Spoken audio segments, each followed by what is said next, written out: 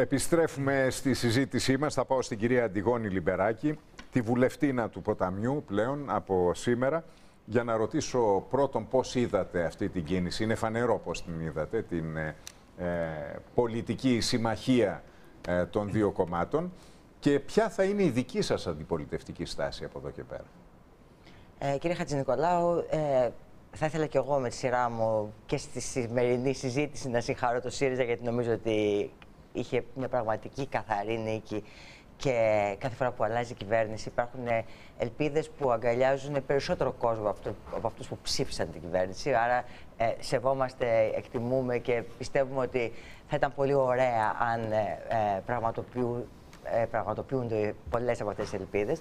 Άρα, ο στόχος μας δεν είναι ούτε να κρινιάξουμε ούτε να τεντώσουμε το δάχτυλο. Θέλω να πω, ε, η οποιαδήποτε κριτική άποψη διατυπώσω δεν θέλω να εκλειφθεί σαν ε, μίζερη ή μικροκομματική ή οτιδήποτε. Παρά τα αυτά, θέλω να πω ότι ε, ενώ μου άρεσαν αυτές οι κινήσεις συμβολικές, ήταν όλες καλώς καμωμένες με το, με το πολιτικό όρκο, με, το, ε, με την αγανάκτηση που δεν παρέλαβε και τον αντιμετωπίστηκε η κίνησή του στο Μαξίμου σαν να ήταν ένας καταληψίας ε, μερικά χρόνια μετά. Ε, έχω ένα θέμα λίγο στο πώς προσλαμβάνω την ταχύτητα με την οποία ε, επελέγει ε, ο χώρος των ανεξαρτήτων Ελλήνων ως εταίρος, βασικός εταίρος. Περισσότερο, όχι γιατί δεν, δεν μπορώ να φανταστώ σημεία που συμφωνούν, ούτε επειδή είναι πρωτόγνωρο ότι ε, μπορεί να κάνουν και καλή παρέα, αλλά κυρίως γιατί νομίζω ότι το μεγάλο θέμα τα μεγάλα θέματα αυτή τη στιγμή της Ελλάδας ε, συνδέονται με τις σχέσεις μας με την Ευρώπη και νομίζω ότι οι ανεξάρτητοι Έλληνες καλλιεργούν τις αμφισημίες του ΣΥΡΙΖΑ προς την Ευρώπη και τούμπανοι. Δηλαδή κάνουν κακό ένας στον άλλον γιατί καταλήγουν σε ένα πιο... αυτή η απόφαση ε, αυτό που είπε πριν ο κύριος Δελαστίκ, ότι δηλαδή ο αντιμνημονιακός χαρακτήρας ε, του κόμματος ε, των ανεξαρτήτων Ελλήνων βάρινε στην πολιτική ναι, απόφαση του Αλέξη Τσίπρα. Αυτό είναι ένα θέμα, κατά τη γνώμη μου, πρόβλημα για την ακρίβεια. Το θέμα με το λέω με την αρνητική έννοια, γιατί ναι. το θέμα μνημόνιο είναι το θέμα που μας δίχασε στο παρελθόν. Ε, αυτό που πρέπει να μας απασχολεί στο παρόν και στο μέλλον είναι πώς θα ανατάξουμε λίγο τη χώρα ε, με τον καλύτερο δυνατό τρόπο και με τις καλύτερες δυνατές συνθήκες στο μέσα στο ευρωπαϊκό περιβάλλον. Μήπως θέλει να στείλει και ένα μήνυμα εν ώψη της διαπραγμάτευσης; Εμένα μου αρέσουν τα μηνύματα εν ώψη υπάρχει... Είναι πολύ ωραίο. Αλλά είναι καλό να στέλνεις μηνύματα τα οποία προσλαμβάνονται σαν χειρονομία φιλοευρωπαϊκή, με αυτοπεποίθηση και με μαχητικότητα. Είναι πολύ λιγότερο ε, χρήσιμο και έβυχο το μήνυμα όταν μπουρδουκλώνει λίγο ε, στοιχεία γενική θεωρία συνωμοσίας, ε, κρυπτοαντιευρωπαϊκού πνεύματος κλπ. Από αυτή την άποψη, ε, φυσικά εμείς περιμένουμε να δούμε πώς θα πώς θα συγκροτηθεί η κυβέρνηση, ποιες θα είναι οι προγραμματικές δηλώσεις. Κύριε Παπαδημούλη, ελπίζω να μας εκπλήξετε ευχάριστα σε όλα αυτά τα σημεία. Και άρα θέλω να πω ότι ε, είμαστε ανοιχτοί στο να δούμε θετικά και αρνητικά. Παρά τα αυτά, δεν μπορώ να μην σημειώσω ότι η σπουδή με την οποία έγινε αυτή η πρώτη συμφωνία, αν και εμάς μας βγάζει κατά, κατά την άποψη που ακούστηκε προηγουμένως από τη δύσκολη θέση να ε, βάλουμε τα, με τα χέρια μας τα κάστανα από τη φωτιά, ε, επειδή εμείς δεν μπήκαμε για να διασκεδάσουμε στη Βουλή, αλλά για να είμαστε χρήσιμοι, ε, κρατάμε μία αμφιβολία ε, υγιή αμφιβολία Κανείς και όχι. Πάντως δεν μπαίνει στη Βουλή για να διασκεδάσει, κυρία Λιμπεράκη. Ναι, όχι, δεν υπάρχει. Όλοι αυτό. μπαίνουμε για να είμαστε προφανώς, χρήσιμοι. Προφανώς. Θέλω, να πω, θέλω να πω, ε, ακούγεται, ξέρετε, αυτές τις μέρες ότι ήταν ένα δώρος με κάποιο τρόπο προ το ποτάμι, ότι ε, συγκροτήθηκε η κυβέρνηση χωρίς να χρειαστεί να, να, να πάρουμε εμείς ε, δύσκολες αποφάσεις. Και θέλω να σας πω ότι την ακούω αυτή την άποψη και ε, ως ένα βαθμό μπορεί να είναι και, και, και αληθής. Αλλά δεν είναι το πρωταρχικό μας μέλημα το να μην κουραστούμε. Άρα και αυτό θα το δείξουμε και στην πορεία. Κύριε Καραθανασόπουλε, πώς είδατε αυτές τις πρώτες κινήσεις σήμερα; Ναι, πρέπει πολύ γρήγορα να προσπεράσουμε αυτό το μπραντεφέρ συμβολικών κινήσεων. Γιατί από τη μια μεριά έχουμε την κίνηση του κύριου Σαμαρά για να συνεχιστεί αυτό το κλίμα πόλωσης και οξύτητας. Και από την άλλη μεριά έχουμε την ενέργεια του κύριου Τσίπρα να μετατρέπει τον τόπο εκτέλεση των κομμουνιστών στην Κεσαριανή στο φόντο της συγκυβέρνησης ΣΥΡΙΖΑ ΑΝΕΛ. Όλα αυτές οι προσπάθειες γίνουν για να συγκαλυφθεί ότι έχουμε εδώ πέρα την υλοποίηση των προεκλογικών σχεδιασμών. Προεκλογικά στήθηκε αυτή η κυβέρνηση που βλέπουμε σήμερα, παρά τις εκκλήσεις οι οποίες ήταν ακριβώς για να λαιλατίσουν τους ψήφους των αριστερών ότι θα σχηματίσει η κυβέρνηση, θα απευθύνει πρόσκληση στο ΚΚΕ και στην Ανταρσία ο ΣΥΡΙΖΑ. Φαίνεται ότι είχε ήδη συμφωνήσει με τον κύριο Καμένο. Και από την άλλη μεριά για να συνεχιστεί η σκητάλη της αντιλαϊκής πολιτικής εντός των πλαισίων και εντός των τυχών. Και το λέμε αυτό γιατί υπάρχουν πολύ σοβαρές εξελίξεις. Σε επίπεδο Ευρωζώνης, όπου έχουμε την άμεση παρέμβαση των ΗΠΑ, που θα αξιοποιήσει αυτές τις εξελίξεις για να μπορέσει να επιταχύνει την αναδιάρθρωση, την αλλαγή του μείγματος της πολιτικής για εξυπηρέτηση συγκεκριμένων συμφερόντων πολύ μεγάλων επιχειρηματικών ομίλων και να αποκαταστήσει την ισχύ των δυνάμεων σε επίπεδο Ευρωζώνης μέσα από την ίδια την παρέμβαση των ΗΠΑ. Και αυτά είναι ζητήματα τα οποία δεν πρέπει να τα προσπερνάμε στη συζήτηση και να βάζουμε απλά και μόνο ταμπέλες των υποβολέων της συγκεκριμένης συγκυβέρνησης. Κύριε Κωνσταντινόπουλε. Κοιτάξτε, πρώτα απ' όλα καταλαβαίνω όλοι αυτοί οι συμβολισμοί έχουν μια αξία, αλλά η ταμπακέρα είναι αυτή που θα θα πρέπει να μιλήσουμε ουσιαστικά το επόμενο χρονικό διάστημα και αυτό τον καιρό πρέπει να αφήσουμε την κυβέρνηση. Σας έχουμε πει πάρα πολλές φορές συγχαρητήρια, κύριε Παραπαδημούλη, να δούμε αν η κυβέρνηση θα υλοποιήσει και στο πρόγραμμά της και, εν πάση περιπτώσει, οι προσδοκίες του κόσμου που είναι πάρα πολύ μεγάλες. Πολύ καλά είπε η κυρία Λιμπεράκη, ότι δεν είναι μόνο αυτών που σας ψήφισαν, είναι όλου του κόσμου. Αν θα ευοδοθούν. Κοιτάξτε να δείτε, θέλω να σας πω το εξής. Η συγκυβέρνηση αυτή τη στιγμή ΣΥΡΙΖΑ-ΑΝΕΛ έχει κάποια χαρακτηριστικά και έχει μια αξία να το δούμε. Θα σας πω ένα παράδειγμα το οποίο δείχνει αυτό το μπέρδεμα το πολιτικό που υπάρχει και στο ΣΥΡΙΖΑ, στο γενικό αντιμνημονιακό. Η κυρία Ραχίλ Μακρύ, που έφυγε από τους ΑΝΕΛ και πήγε στο ΣΥΡΙΖΑ, εκλέχτηκε πρώτη στην Κοζάνη. Θέλω να, θέλω να το πω αυτό για να δούμε πόσο. Καταγγέλλοντας τους άνδρε. Ναι, τέλος πάντων. Αλλά θέλω να θα πω ναι, ότι η, με τις θέσεις της κυρίας Μακρύ που έλεγε όλα αυτά τα χρόνια, πήγε σε ένα άλλο κόμμα αριστερό στην Κοζάνη και εκλέχθηκε πρώτη είναι ένα θέμα. Όπως και η κυρία Τσάγκρη, μια μνημονιακή υπουργός. Θα σας πω. Έχουμε, ε, ναι, έχουμε την κυρία Τζάκρη από τη μία μεριά, η οποία πήγε. Γιατί έχουμε και την Νέα Δημοκρατία που πήρε αντιμνημονιακούς και τους έβαλε στο ψηφοδέλτιο επικρατείας. Έχουμε τα δύο κόμματα στην προσπάθειά του. Άρα υπάρχει μια κοινή βάση για αυτές τις μετακινήσεις και τις μετεπιδήσει.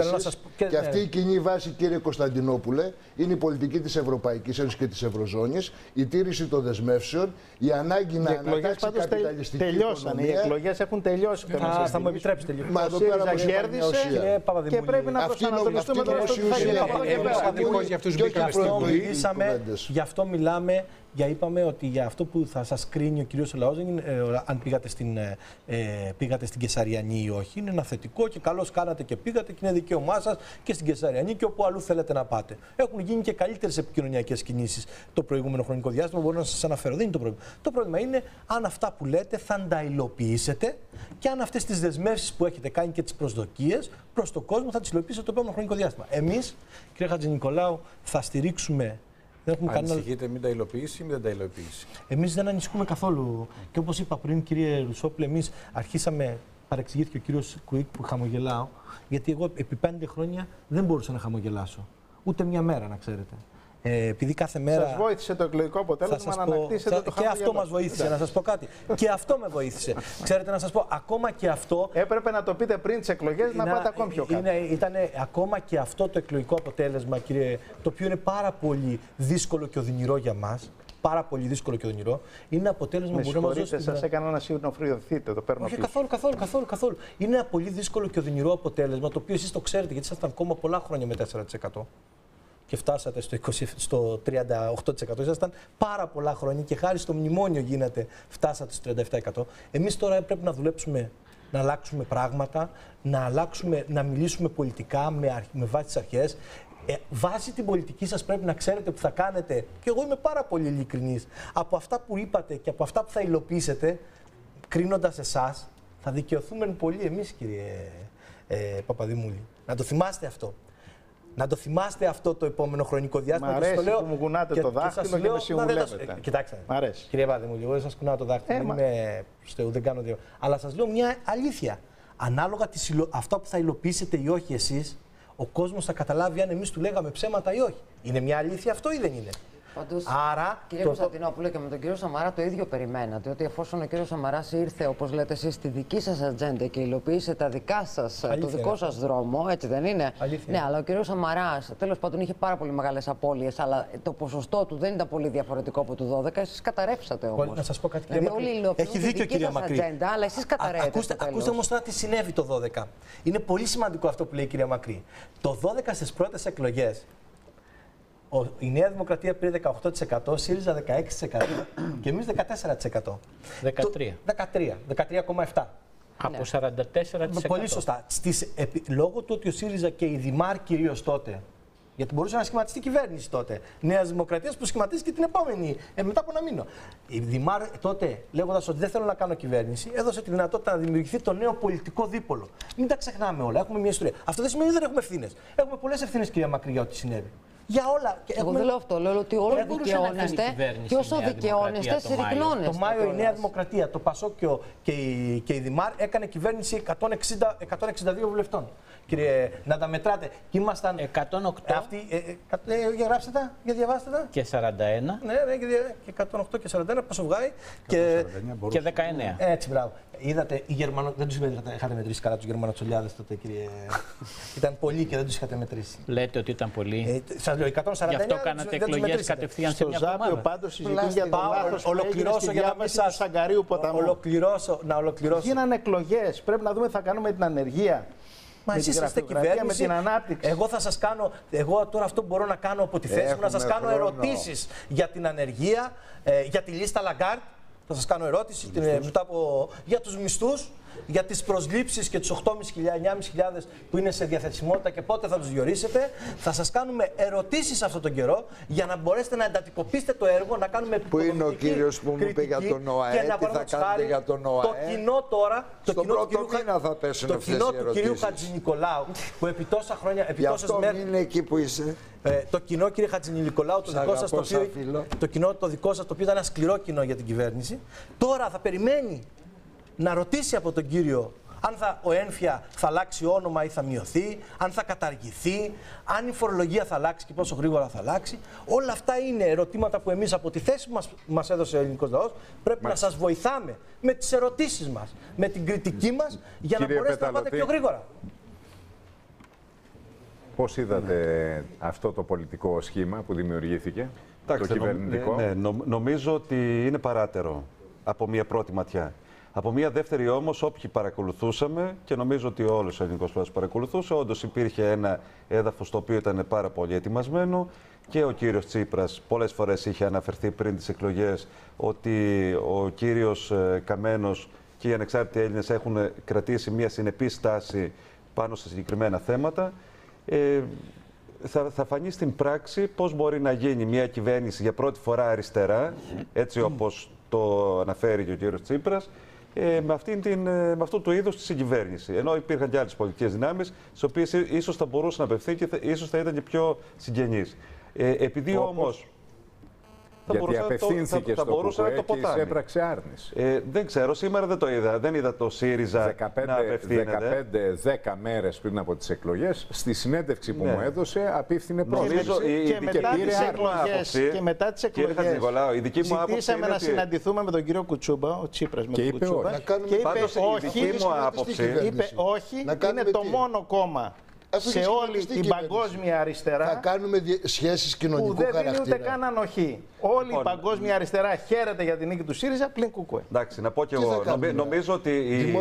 αυτή η χειρονομία του κυρίου Τσίπρα ήταν. Η κυβέρνηση κάτι σχηματίσει. Να συμμετέχουμε για ποιο λόγο; Περιμένουμε τις προγραμματικές δηλώσεις και υπό το φως του ηλίου θα τοποθετηθούμε και δημοσίως απέναντι στις προγραμματικές δηλώσεις λοιπόν, τη Νομίζω ότι ο κύριος Τσίπρας γνώριζε πάρα πολύ καλά ότι το Κουκουέ θα αρνηθεί και ακριβώς το έκανε για να βγει και από την δύσκολη θέση. Και το ξέρουμε όλοι ότι θα, θα αρνηθεί το ΚΟΕ, γιατί έχει σαφώς διαφορετικές θέσεις. Από εκεί πέρα πιστεύω. Και έργων, κύριε Πεταλωτή. Ναι, είναι δικό σας θέμα. Ναι. Ε, έχετε άλλες θέσεις. Είναι ξεκάθαρο. Ναι, και συνέπεια λόγων και έργων. Γιατί και άλλοι έχουν διαφορετικές θέσεις που τις μεταβάλουν σε μια πορεία. Λοιπόν, από εκεί πέρα πιστεύω ότι ο χρόνος ο πολιτικός θα περάσει πάρα πολύ γρήγορα. Θα, θα κρυθούν όλοι. Και ε, προσπαθώ να δω πώς πραγματικά ο ΣΥΡΙΖΑ, και μακάρι να πετύχει σε αυτά που λέει, θα μπορεί να ε, συγκεράσει ένα κρατισμό από τον οποίο διακατέχεται με όλα όσα θα πρέπει να κάνει. Και κυρίως να μην ξεχνάμε ότι μπορεί τα οικονομικά να, ε, δυστυχώς να μονοπολούν μια πραγματικότητα. Ε, τον Μάρτιο έχουμε να πληρώσουμε μια δόση ως χώρα 2,5 δισεκατομμύρια ευρώ στο Δουνουτού. Δεν ξέρω πώς μπορεί να πάει και πώς να διαπραγματευτεί και να έχει πληρωθεί αυτή η δόση, γιατί αυτή η δόση δεν μπορεί να πάει πίσω. Δεν μπορούμε ούτε χρήματα να κόβουμε, όπως έλεγε μια κυρία, ε, η οποία νομίζω είναι βουλευτήνα σήμερα, ούτε έχουμε δική, δεν, έχουμε ευρωπαϊκή, δεν έχουμε δική μας τράπεζα και κυρίως κανείς δεν πρόκειται να μας χαρίσει ή να πει αφήστε τη δόση. άρα θέλω, να πω, άρα θέλω να πω ότι πολύ σύντομα όλα αυτά θα κρυφθούν στην πράξη. Σήμερα μπορεί να μιλάμε σημειολογικά, με συμβολισμούς, με κεσαριανή και όλα αυτά τα επικοινωνιακά. Σε λίγες μέρες θα μιλάμε επί του πραγματικού. Και εκεί ελπίζω να ε, έχουμε καλά αποτελέσματα. Κύριε Δελαστίκ, Εγώ... θέλατε να ρωτήσετε. Ναι, ήθελα να ρωτήσω, αλλά ουσιαστικά να το πω ως κάτι το οποίο ενδιαφέρει άμεσα τον κόσμο. Ο κόσμος ελπίζει, χαμηλές προσδοκίες έχει, ελπίζει όμως πολλά πράγματα. Συγκεκριμένα, έχει πει ο Αλέξης Τσίπρας, 12.000 αφορολόγητο για όλους τους Έλληνες. Έχει πει 751 ο κατώτερος μισθός. Έχει πει κατάργηση... Θεωρητικά. Ναι. Να το υπενθυμίζουμε αυτό. Ωραία. Στον ιδιωτικό επειδή θα πληρώνει άλλος. Ναι. Κάνει διαφορά μεγάλη. Ναι, ναι, βέβαια. Αυτό έχει πει διαπραγμάτευση για να καθορίσει. Αφήστε, εγώ αν πλήρωνα 750 ευρώ στους δημοσιογράφους θα μου ήταν ευτυχής. 751. Έχει πει κατάργηση του ένφια. Έχει πει 13η σύνταξη σε όσους έχουν κάτω από 700 ευρώ σύνταξη. Αυτό που θέλω να ρωτήσω ουσιαστικά είναι αυτά τα πράγματα. Αυτά και είναι τον κόσμο πρώτα απ' όλα. Αυτά θα τα κάνει σύντομα ο Τσίπρας. Δηλαδή η κυβέρνηση ΣΥΡΙΖΑ θα τα κάνει σε ένα μήνα, γιατί όλα αυτά γίνονται πολύ εύκολα. Και πού θα βρει και τα λεφτά να τα κάνει, έτσι, γιατί δεν είναι εύκολα. Εμένα είναι με εύκολα. Κάνει, υποτίθεται θα τα έχει βρει τα λεφτά. Εμένα με ενδιαφέρει ακριβώς, αφού στιγμή τα έχει υποσχεθεί, αν θα τα κάνει. Έτσι. Δεν είναι ο κάθε πολίτης οικονομολόγος να ψάχνει να βρει που θα βρει τα λεφτά. Γιατί δεν μας ενδιαφέρει πού θα βρεθούν τα λεφτά από το κράτος, για τη συντάξη και όλα αυτά. Εκτός αν μας ενδιαφέρει αν μας αρέσει να ακούμε απλά και ωραία λόγια. Έτσι. Ο γνήσιο αντικαπιταλιστής υποβολέας δεν τον ενδιαφέρει τον κύριο Ελαστικά αυτά. Εντάξει, αν υπάρχει κάτι που φέρνει λεφτά αυτόματα στη χώρα, μπορεί να το μάθουμε. Εμένα δεν με ενδιαφέρει. Α, Υποσχέθηκε ο Τσίπρας, θέλω να τα κάνει. Είναι πολύ απλό. Δεύτερον, έχω και δύο απορίες. Πρώτον, ο Γιώργος ο Παπανδρέου, ο Πρωθυπουργός του 44% πριν από πέντε χρόνια, δεν κατάφερε να μπει στη Βουλή. Α, έλεγα και εγώ πώς δεν μπήκε το θέμα του Ανδρέου ακόμη. Ε, και ο κύριος Δελαστίκ φυσικά. Το συζητήσαμε ναι. το βράδυ των εκλογών, αλλά είναι είμαστε, μπορούμε να το συζητήσουμε πάλι. που έχει υποστεί πολιτικός από όσο γνωρίζω στη διεθνή σκηνή. Ναι, εντάξει. Ε, ε, Προφανώς δεν γνωρίζετε καλά τη διεθνή πολιτική σκηνή. Εσείς γνωρίζετε τους χαρακτηρισμούς πάρα πολύ καλά, την ξεφτύλα, τους Γερμανοτσολιάδες. Μάλλον πρέπει λίγο να εντρυφήσετε και περισσότερο. Γιατί κατηδίαν μπορώ να σας πω και άλλες περιπτώσεις. Και άλλες περιπτώσεις. Ναι. Εγώ Αν σας ενδιαφέρει το να μην ξεφτελίζετε ο Παπανδρέου. Δεν με ενδιαφέρει. Α, ε, λέω, μήπως σας ενδιαφέρει. Ρεζίλη έμεινε. Α, μάλιστα. Ενώ εσείς είστε σοβαρός αυτή τη στιγμή. Εσείς ως δημοσιογράφος και αρθρογράφος μιας σοβαρής εφημερίδας είστε σοβαρός που χρησιμοποιείτε χαρακτηρισμούς. Ε, τι να πω, ότι είναι θαυμαστός. Όχι, αλλά και εσείς δεν είστε θαυμαστός.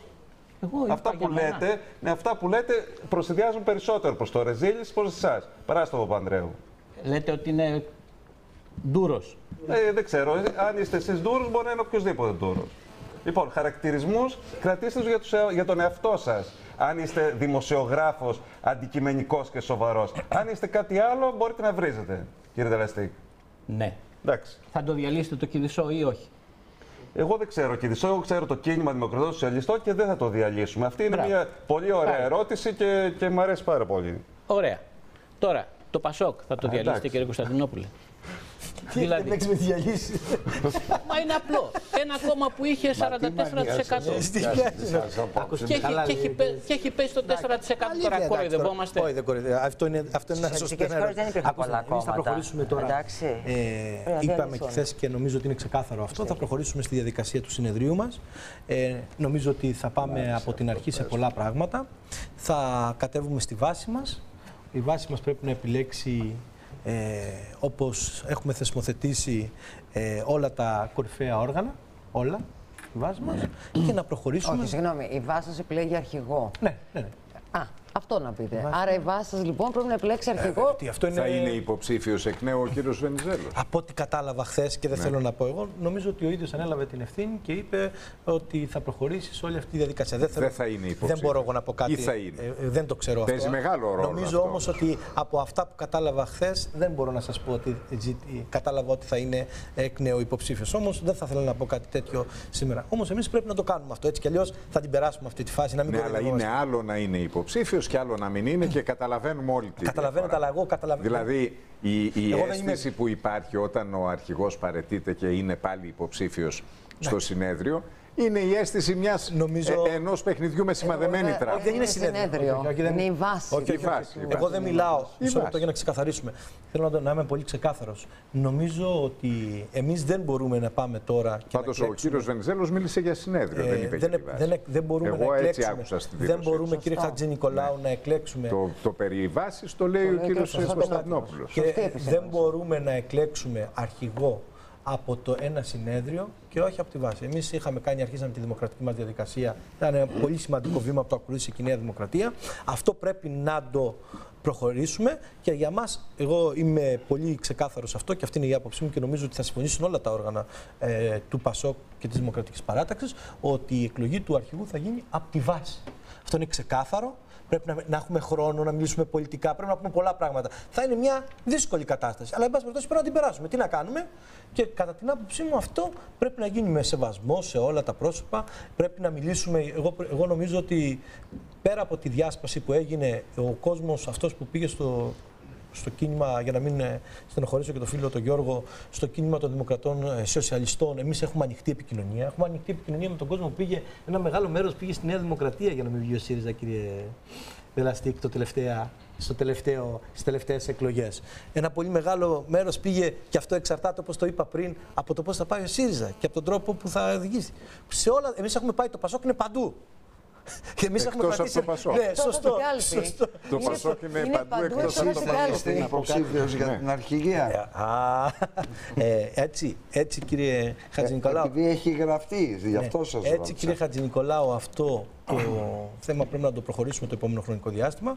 Νομίζω θα γίνει με σοβαρότητα και ελπίζω ότι θα μπορέσουμε να ανατάξουμε τις δυνάμεις μας Πιθανότητα να ξαναείστε μαζί υπάρχει.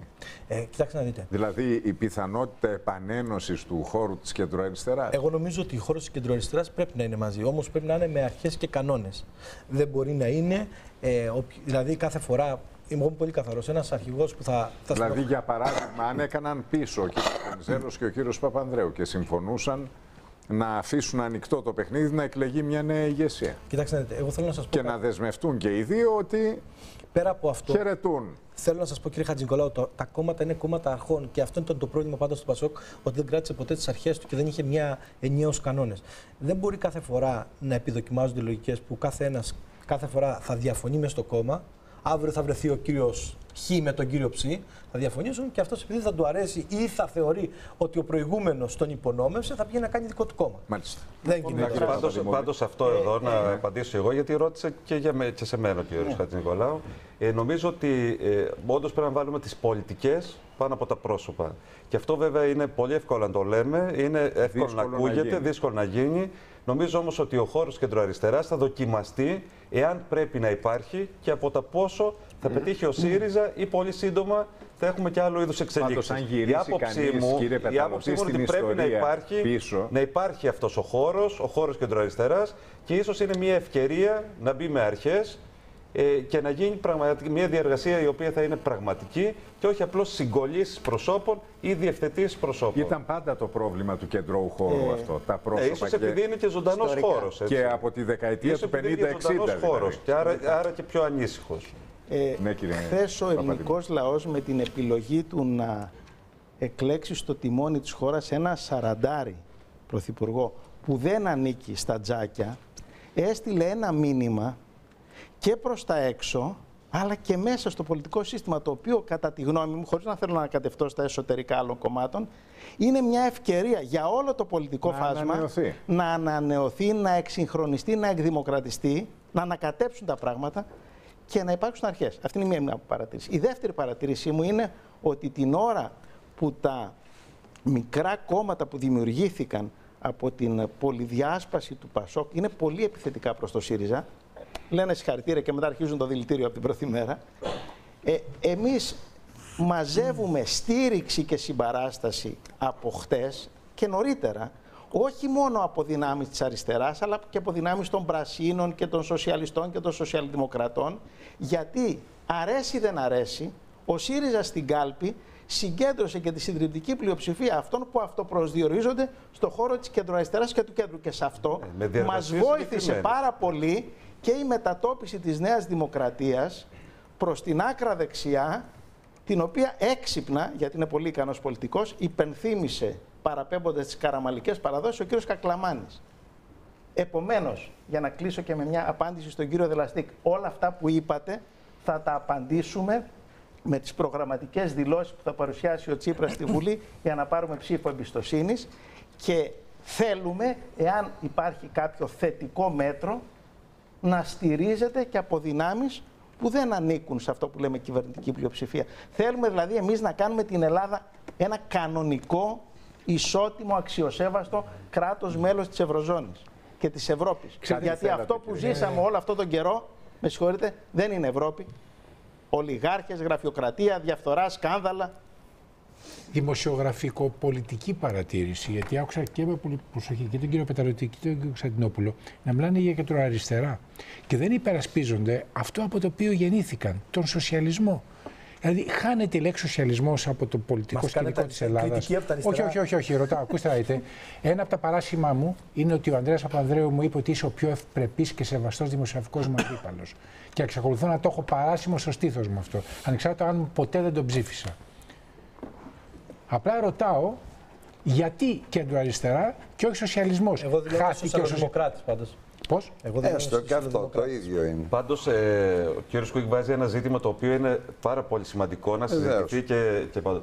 Ε, εγώ θα έλεγα, παρόλο που στον, στον τίτλο μας βάλαμε και το κίνημα Δημοκρατών Σοσιαλιστών, τη λέξη σοσιαλιστής και σοσιαλισμός είναι αλήθεια ότι θα έπρεπε γενικώς να την χρησιμοποιούμε με, με περισσότερη φιδό και με περισσότερη, ε, ουσία. περισσότερη ουσία και σεβασμό. Είναι η αλήθεια. Και ίσως και γι' αυτό, κύριε Κόκκι, δεν το συζητάμε και πάρα πολύ. Αλλά νομίζω ότι παρότι ότι οι εποχές είναι δύσκολες, παρότι έχει ευτελιστεί η έννοια του σοσιαλισμού, είτε του υπαρκτού είτε του τρίτου δρόμου σοσιαλισμού. Στην Ελλάδα νομίζω, γενικώς. Γενικώς.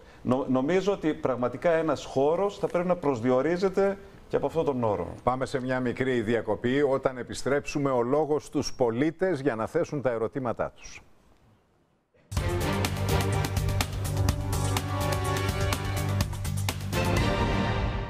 Καίγεσαι να μάθει το καιρό! Στο 11888 σου λέμε αμέσω αν θα κρυώνει ή θα ζεσταίνεσαι, πού ακριβώ τα χιλιακάδα, αλλά και αν ρίξει καρέκλε μέσα στη βδομάδα. 11888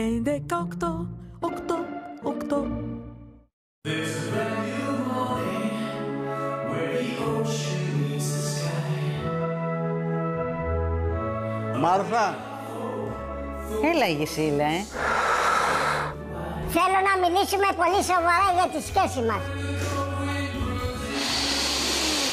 Μη με χωρίσεις, Αγισίλα, ε. Εγώ πότε θα γίνω μάνα;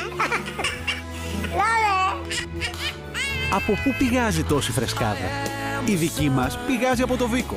Γιατί τα νέα αναψυκτικά Βίκος είναι τα μόνα με φυσικό μεταλλικό νερό.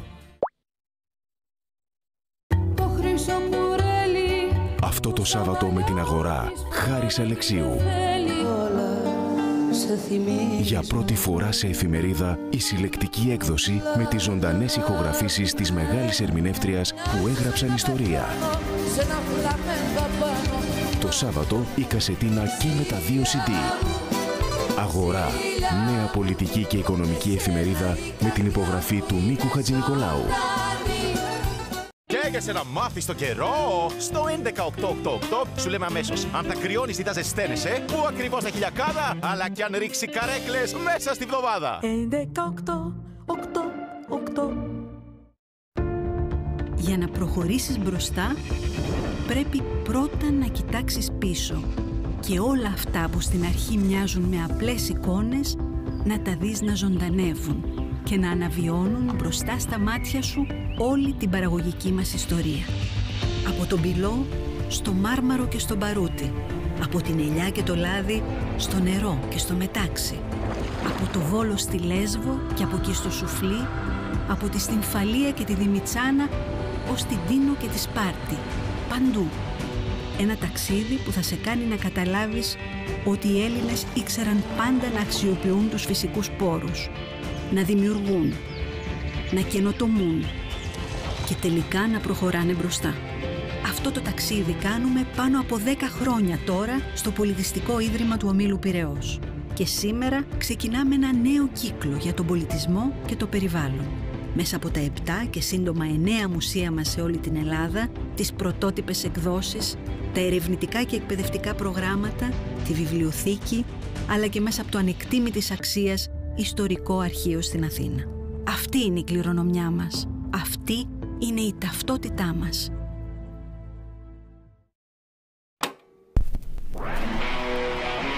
Η Real News ροκάρει και φέρνει αποκλειστικά τη δισκογραφία των Rolling Stones. 16 αυθεντικά άλμπουμ που έγραψαν ιστορία.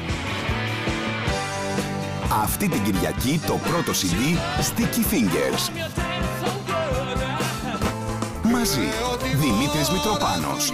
5 CD με ανέκδοτες ηχογραφήσεις. Αυτή την Κυριακή η Κασετίνα με το πρώτο CD. Real News. Η αληθινή εφημερίδα.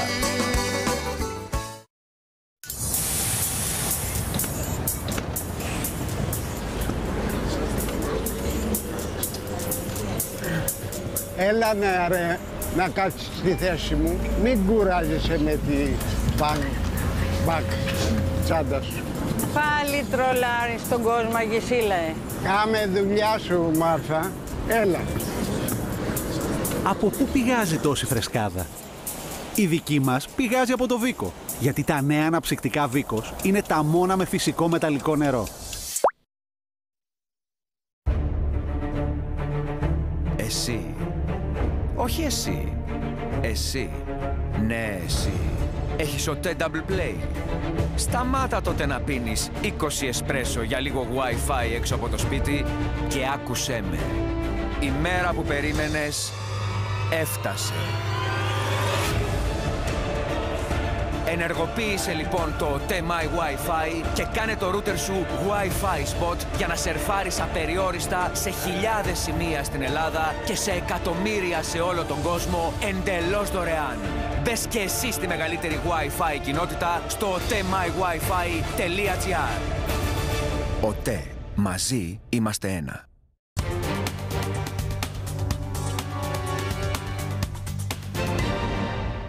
Πάμε τώρα να ακούσουμε τους συμπολίτες μας και να θέσουν τα ερωτήματά τους.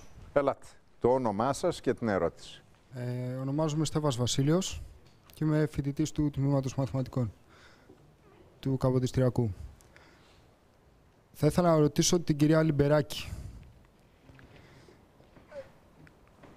Έχω ακούσει πολλές φορές τελέχη του ποταμιού και του ευρύτερου φιλελεύθερου χώρου να κατηγορούν ειδικά τις τελευταίες μέρες τους ανέλωσε ένα ακροδεξιό κόμμα και το ΣΥΡΙΖΑ, για το ΣΥΡΙΖΑ έχω διαβάσει μέχρι και τον όρο αναρχοσταλινιστές. Ε, ωστόσο, δεν, ε, δεν μας έχουν ξεκαθαρίσει οι ίδιοι σε ποιον χώρο ανήκουν, καθώς πολλές φορές εμφα- παρουσιάζονται ως κεντροαριστεροί, πολλές φορές ε, ως φ- νεοφιλελεύθεροι και επίσης παρότι θίγουν τα προβλήματα της διαφθοράς που αντιμετωπίζει ε, το σύγχρονο ελληνικό κράτος, δεν θίγουν προβλήματα που αφορούν ευρύτερα την παγκόσμια κρίση, όπως ε, την κρίση του τραπεζικού συστήματος, ε, την κρίση, ε, την άνισο κατανομή του πλούτου. Δεν πιστεύετε ότι, δεν θεωρείτε ότι θα ήταν πιο υπεύθυνη στάση να αυτοπροσδιοριζόσασταν κι εσείς ως πολιτικός χώρος; Και όχι επειδή ψάχνω ιδεολογικές καθαρο, ε, καθαρότητες, αλλά επειδή ε, πολλές φορές, εντάξει, ακούμε να κατηγορείτε τα τα υπόλοιπα κόμματα, αλλά εσείς ίδιοι να μην ξεκαθαρίζετε τη στάση σας, όχι μόνο ως προς, την, ε, ως προς τον ιδεολογικό χώρο τον οποίο ανήκετε, αλλά ως και ως προς τα προβλήματα τα οποία πιστεύω πως πραγματικά αφορούν τη Μάλιστα. χώρα. Και τε- κάτι τελευταίο. Και θα ήθελα να ρωτήσω και τον κύριο Παπαδημούλη. Ας απαντήσει Ε, η κυρία Λιμπεράκη. Ναι. Και θα δούμε αν Ωραία. υπάρχει χρόνος για δεύτερο ερώτημα, γιατί είναι πολλοί που θέλουν να ρωτήσουν. Ελάτε. Ε, χαίρομαι πολύ που μου κάνετε αυτή την ερώτηση, γιατί πολλές φορές υπάρχει μια σύγχυση η οποία καλλιεργείται και από την κριτική που μας κάνουν. Εμείς είμαστε ένα κόμμα που τοποθετείται στον κεντρό χώρο. Ο κεντρός χώρος ε, στην πραγματικότητα λέει ότι συστεγάζει απόψεις οι οποίες είναι από κεντροαριστερά μέχρι ε, φιλελεύθερη μεταρρυθμιστική, ας πούμε, όχι νεοφιλελεύθερη σε καμία περίπτωση. Αυτό που θέλω να πω είναι ότι γιατί εμείς πιστεύουμε ότι έχει νόημα να μιλάμε για τον κεντρό χώρο. Γιατί ο λαϊκισμός έχει βαρύνει πάρα πολύ αυτό που παραδοσιακά λέγαμε δεξιά και αυτό που παραδοσιακά λέγαμε αριστερά. Δηλαδή, αν φανταστούμε το πολιτικό σύστημα σαν μια βέργα, έχει βαρύνει πολύ τα δύο άκρα και ουσιαστικά η, νομίζω η πιο προωθητική και προοδευτική δύναμη είναι αυτή η οποία λέει ας μην μιλάμε για ιδεολογίες, ε, ε, είναι χρήσιμες ιδεολογίες, έχει, έχει, έχει νόημα να πιστεύουμε σε αξίες, αλλά οι αξίες δεν ταυτίζονται πάντα με τις ιδεολογίες. Έχουμε λοιπόν κάποιες βασικές αξίες που μας ενώνουν, είτε είμαστε κεντροαριστεροί, είτε είμαστε ε, φιλελεύθεροι ε, ε, μεταρρυθμιστές, φιλοευρωπαϊστές, κεντρώοι, παραδοσιακοί κλπ. Που είναι η αξία της ε, ανθρώπινης ελευθερίας, της δυνατότητας των ανθρώπων να κάνουν τι ελευθερίε να κάνουν επιλογές, η υποστήριξη των πιο αδύναμων για να μπορούν να κάνουν επιλογές και η ύπαρξη ενός ε, κοινωνικού κράτους που να αντιμετωπίζει τους πιο αδύνατους. Και εδώ έρχομαι για να σας πω στο θέμα του αυτοπροσδιορισμού.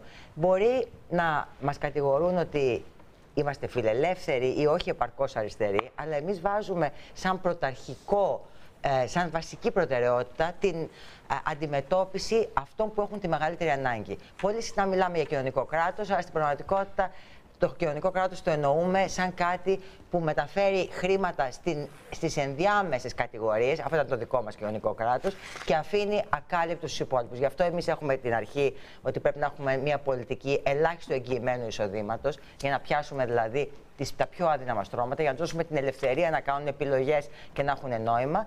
Και ταυτόχρονα μια κοινή προσχολική ενιαία εκπαίδευση, γιατί η, η επιστήμη λέει ότι οι άνθρωποι διαμορφώνονται πολύ νωρίς στη ζωή τους και είναι πολύ κρίμα να αφήνουμε τα φτωχότερα παιδιά ε, έξω από το τρένο των ευκαιριών όταν τα πλουσιότερα παιδιά έχουν μεγαλύτερες ευκαιρίες.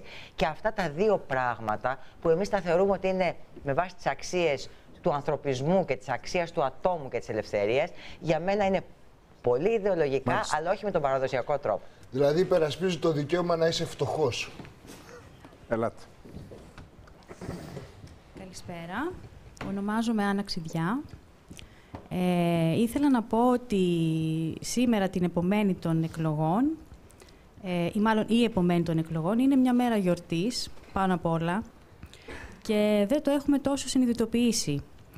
Ε, μία μέρα γιορτής για τους Έλληνες Ίσως γιατί έχουν και τις προηγηθεί πολλές Ελληνίδες. μέρες γιορτών Θα σας μετά πω. από εκλογές. Ε, είναι ιδιαίτερα για τους, ε, ε, για τους Έλληνες και τις Ελληνίδες ψηφοφόρους, οι οποίοι είναι πολίτες του καναπέ, όπως ξέρουμε, έχουμε καταντήσει να είμαστε πολίτες του καναπέ και να, απλά να παρακολουθούμε τα παράθυρα.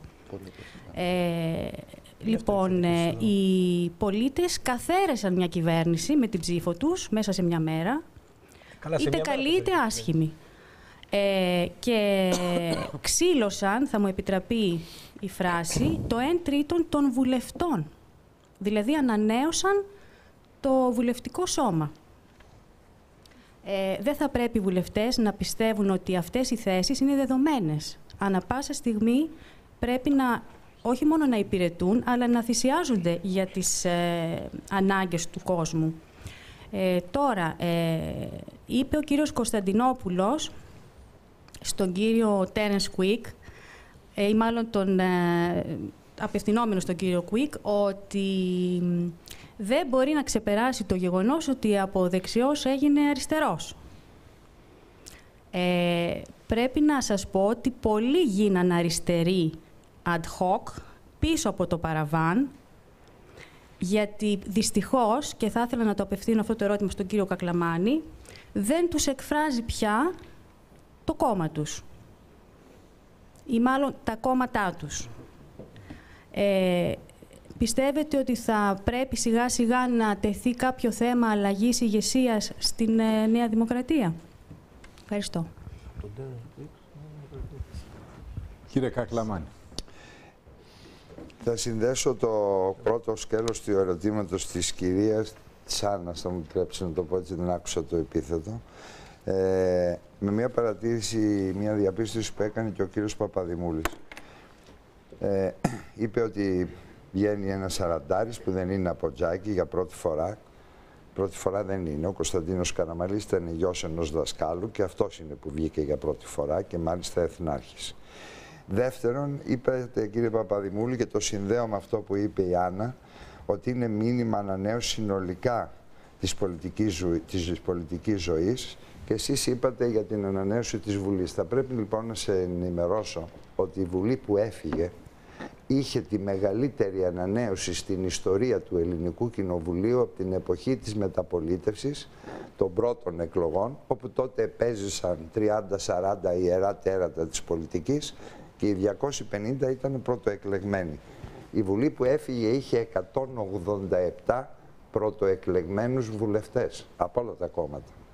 Και κατά γενική διαπίστωση και παλαιότερων αλλά κυρίως των εκπροσώπων των μέσων ενημέρωσης. Δεν έσκυζε η ήταν, Όχι, λέγα, να τα πείτε όπως τα λέγατε. Ήταν, η χειρότερη βουλή της μεταπολίτευσης. Ξέρετε γιατί, Σας το λέω Ξέρεις εγώ. γιατί Άννα; Γιατί η ηλικιακή ανανέωση όταν δεν συμβαδίζει με αντικειμενικά στοιχεία ποιότητας είναι πολύ πιο επικίνδυνη από το να έχεις το παλιό, θέλεις έμπειρο, θέλεις όμως και ξεπερασμένο πολιτικό προσωπικό.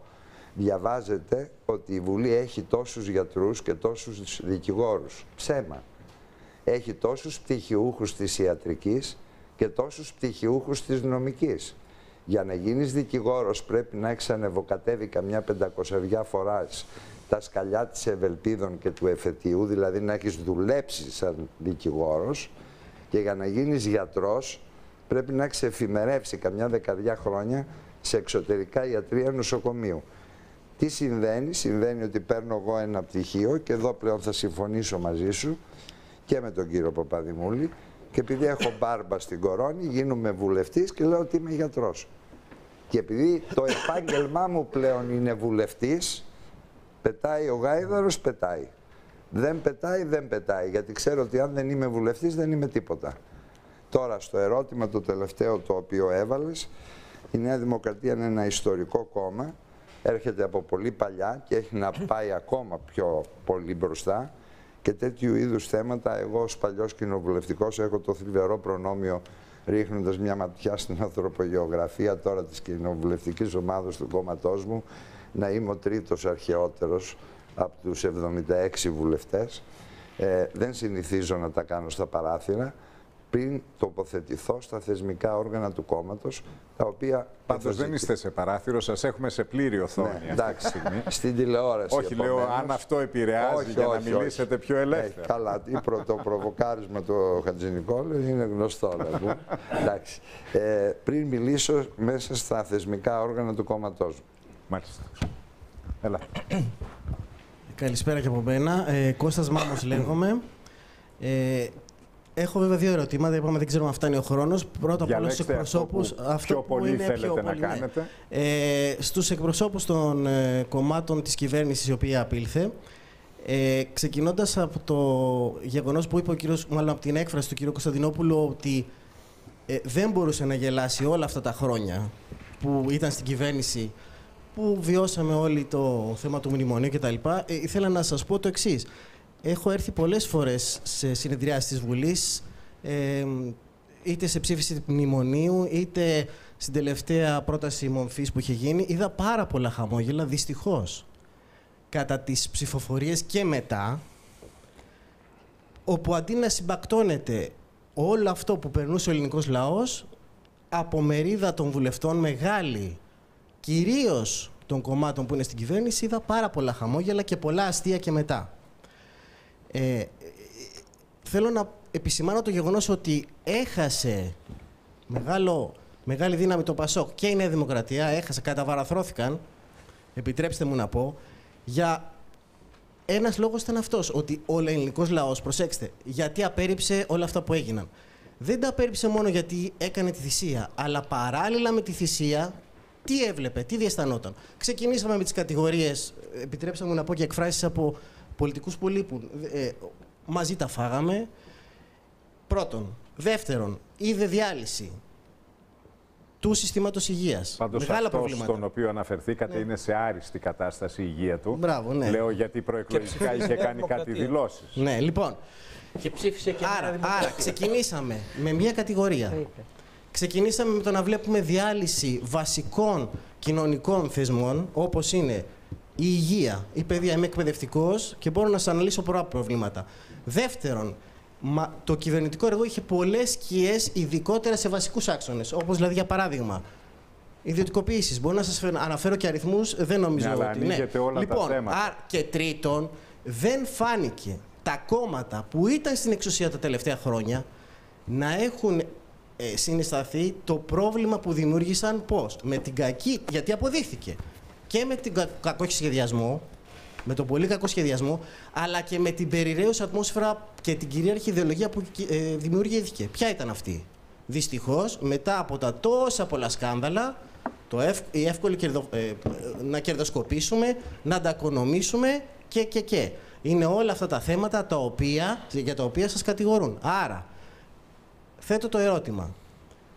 Μπορούσε να γίνει αυτή η διόρθωση όλων αυτών των στρεβλώσεων της κοινωνίας που φτάσανε και του ελληνικού κράτους που φτά... μας έφτασαν στη χρεοκοπία χωρίς τον ευτελισμό και εξευτελισμό σε πολλές περιπτώσεις του ελληνικού λαού. Πιστεύετε τώρα μετά από όλα όσα έγιναν μπορούσε να γίνει αλλιώς η διόρθωση; Γιατί ζούμε σε μια Ευρώπη.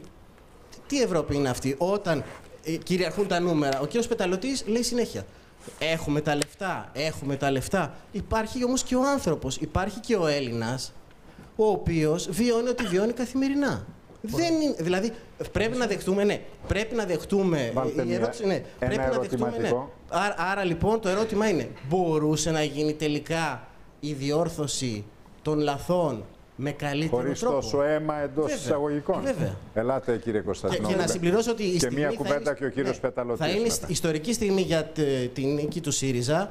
Αυτό μένει να αποδειχθεί. Είναι μεν ιστορική στιγμή, αλλά η βαρύτητα μένει να αποδειχθεί. Γιατί ε, τα 25 τελευταία χρόνια που ζω την πολιτική ζωή, όπως είπε και ο κ. Νικολάου, πολλές φορές χειροκροτήσαμε, ακούσαμε τους αρχηγούς. Νέα Ελλάδα, δίκαιη Ελλάδα, πάνω η Ελλάδα, πάνω Έλληνας και φτάσαμε εδώ πέρα Μάλιστα. που φτάσαμε. Ελάτε, κύριε Αν μας Κωνσταντινόπουλε. κατηγορούσατε, αν, αν αυτό που λέτε κατηγορούσατε ότι δεν προχωρήσαμε αρκετές μεταρρυθμίσεις, ως προς τις μεταρρυθμίσεις, μπορώ να σου πω ότι είναι πραγματικά είναι από, από αυτά που δεν, μπο- δεν μπορέσαμε να τα προχωρήσουμε για πολλούς λόγους και αναλαμβάνουμε. Πάντως και το την ευθύνη. ερώτημα ήταν αν θα, υπάρχει θα άλλος σας πω, δρόμος. θα πάω, να πάω στο άλλο.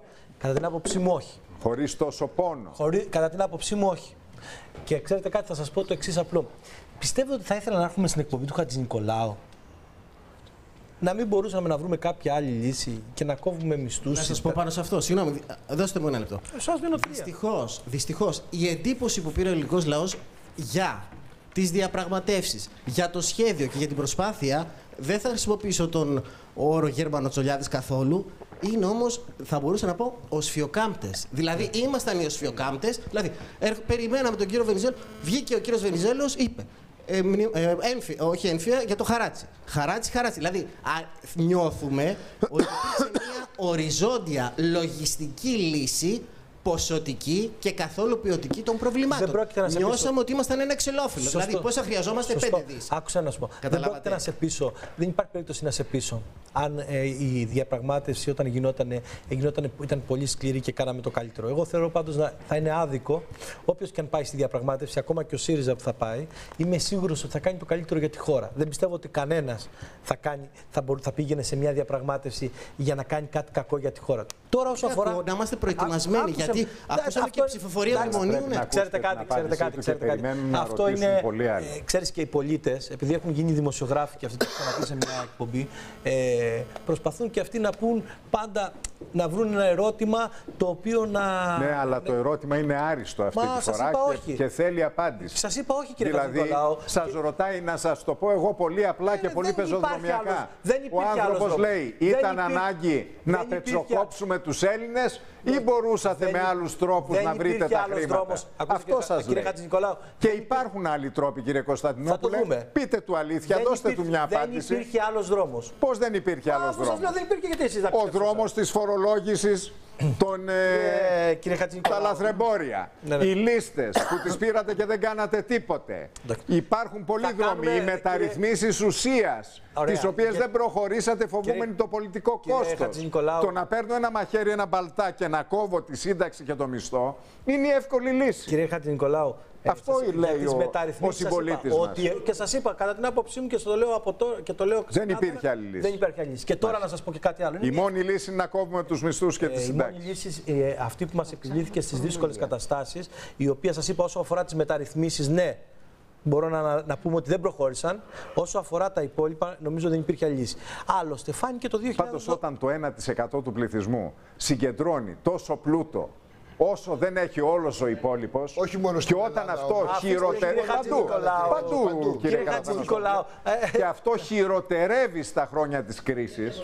Δηλαδή μέσα στην κρίση αυτή η ανισότητα γίνεται χειρότερη. Χθες ήμουνα- Κάτι δεν πάει χθε- καλά. Χθες ήμουνα στην κυρία, κύριε- στον Α, Μήπως όπου, δεν πάει το όπου σύστημα μιλούσε η καλά, κυρία λοιπόν, Γιάννα κύριε Μπορεί Αγγελοπούλου. κύριε Καραθανασόπουλο. Αφού είναι χθες στον- παγκόσμιο. Πάντως και το Είναι σύστημα φαινόμενο να μην πηγαίνει Χατζηνικολάου. καλά Με δεν επέμενε. σημαίνει ότι αυτό που Χθε- πρεσβεύετε χθες εσείς ήμουνα είναι στον κατά Α. ανάγκη Θα καλύτερο. μου Όχι, επιτρέψετε αλλά να... θα μπορούσε να είναι όμως. Θα μου, Δεν επι- το ξέρω. θα μου επιτρέψετε. Ας το ο- κουβεντιάσουμε χθες όμως ήμουνα- ουσιαστικά. Ήμουνα στον Α. Ποιο θα είναι το καλύτερο. Θα μου πείτε, και ήταν, και μιλούσε η κυρία Γιάννα Αγγελοπούλου. Πέρανε συνέντευξη στην κυρία Γιάννα Αγγελοπούλου. Ναι. Δασκαλάκη.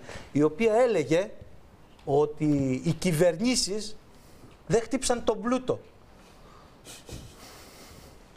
Ε, καταλαβαίνετε τώρα. Όχι, όχι, δηλαδή, κατα- θα το λέω και πώς σε δεν εσάς. Και καταλαβαίνετε. σας λέω κάτι άλλο. Α- αφήστε Σας το λένε και μόνοι τους Ναι, ναι, ναι, δηλαδή. μπρα- μπράβο, μπράβο. Ότι μπράβο. ρε παιδιά... Και ελπίζω, Έτσι. λέ, και ελπίζω λέ, ακού- αφήστε με να το ολοκληρώσω. Ναι. Α, και λέω το εξής. Το 1%. Ότι υπάρχουν έρευνες επιστημονικές. Αφήστε τις έρευνες Όχι, τώρα. όχι, δεν θα τις Εδώ αφήσω. έρευνες. Τρία πράγματα. Πρώτον, τα προβλήματα που έχουν ανακύψει οικονομικά, και, πολ- και οικονομικά είναι πάνω από τις δυνατότητες του μέσου πολιτικού μετά από έρευνες. Δεύτερον, ε, Δυστυχώς οι πολιτικοί ακολουθούν περισσότερο τις επιταγές. Δεν, δεν μπορώ να πω ότι ε, προέρχομαι από αριστερή πλευρά, αλλά του κεφαλαίου, δηλαδή από έρευνες που έγιναν. Είδανε τι θέλει ο λαός, τι θέλουν ε, ε, τα κεφάλαια και τα Εσείς συμφέροντα και πιστεύετε, α, ακολουθούν. Το 40%, και το ακολουθούν. 38% του ΣΥΡΙΖΑ, το, 10 το 4,5% της, ε, ε, του, των ΑΝΕΛ και το πόσο της Χρυσής Αυγής πόσο είναι το... που είναι- το 6,2 και από τα άλλα κόμματα, άμα τους ρωτήσετε και τους πούνε ότι τι, ε, ε, οι πολιτικοί τι κάνουν, είναι με το κεφάλαιο ή όχι, τι θα, τι θα πούνε; Στην ερώτηση ναι ή όχι.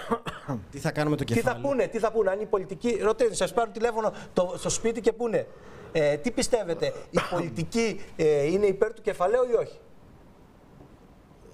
Στις έρευνες. Η πολιτική μου μικρογιώτα. Ναι, ναι, η πολιτική μου μικρογιώτα. Τι θα, αν, τι θα, αν θα απαντήσουν. Α, αν, ε, μα δεν δεν, το έχει καταλαβαίνω. γίνει τέτοια Ναι, έρευνα. αλλά για την ουσία του ερωτήματος. Μα δεν με θα δείτε αφήνετε όμως. Δεν με αφήνετε να απαντήσω. Σας είπα για τον δρόμο που Ε, εμείς υπήρχε θέλουμε. αυτόν τον καιρό. Και τώρα είναι μια μεγάλη ευκαιρία. Στο, η Νέα Δημοκρατία δεν τα κατάφερε να βρει άλλο δρόμο το 12. Δυστυχώς δεν το είπατε τόσο πολύ όμως όσο χρειαζόταν. Λέγατε πάντα για Ποιος το δεν Πασό. το είπε; Ποιος δεν το είπε; Για τα ζάπια. Σε Και μένα, τώρα δεν το σε είπατε. μένα το όλους λέτε λέω, αυτό. Κύριε Χατζη Νικολάου, σε Όχι όλους το σας είπαμε, όχι άρθρα γράψαμε, Ε, όχι για τα 18 δεύτερο, Και τώρα σημεία έρχονται και, για τώρα, τα τέσσερα για να ζάπια. επιβεβαιωθείτε γι' αυτό και εγώ μακάρι να κάνουμε λάθος. Έρχεται μια κυβέρνηση Πάντως και πάλι αντί να απαντήσετε, Μα αφού κάνετε σας λέω σύγκριση όχι. αν η Νέα Μα αφού σας λέω Δημοκρατία το όχι. έκανε χειρότερα ή Μα καλύτερα. σας λέω όχι. Αυτό είναι το Μα θέμα. σας το μας. είπα το όχι, δεν το ακούσατε.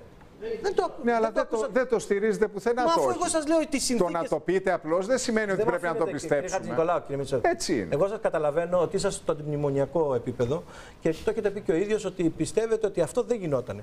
Καλά, κάνετε, είστε δημοσιογράφος και Δεν καλά είμαι, κάνετε να- καταρχήν θα σας παρακαλέσω να μην μου βάζετε ταμπέλες. Μα εσείς Ταμπέλες θα βάζετε, θα αυτοπροσδιορίζεστε. Μισό λεπτό, κύριε. Και θα αφήνετε να προσδιορίζω εγώ τι είμαι και τι δεν είμαι. Ναι. Μα ακού- Δεν χρειάζεται να είσαι κάτι για να βλέπεις ότι έχει Μα είστε πτωχοποιηθεί δημόσιο τα πρόσωπο. τελευταία πέντε χρόνια Μα είστε- μα είστε ότι δημόσιο έχει πρόσωπο. πτωχοποιηθεί η ελληνική κοινωνία. Δεν χρειάζεται να είσαι κάτι και να έχεις μια ταμπέλα για να βλέπεις ότι η ανεργία είναι η υψηλότερη της Ευρώπης στα νέα παιδιά. Ε, Κύριε Χατζη Νικολάου, αυτά- δηλαδή δεν α- χρειάζεται Αυτά είναι εύκολα να, τα βλέπεις- λέτε.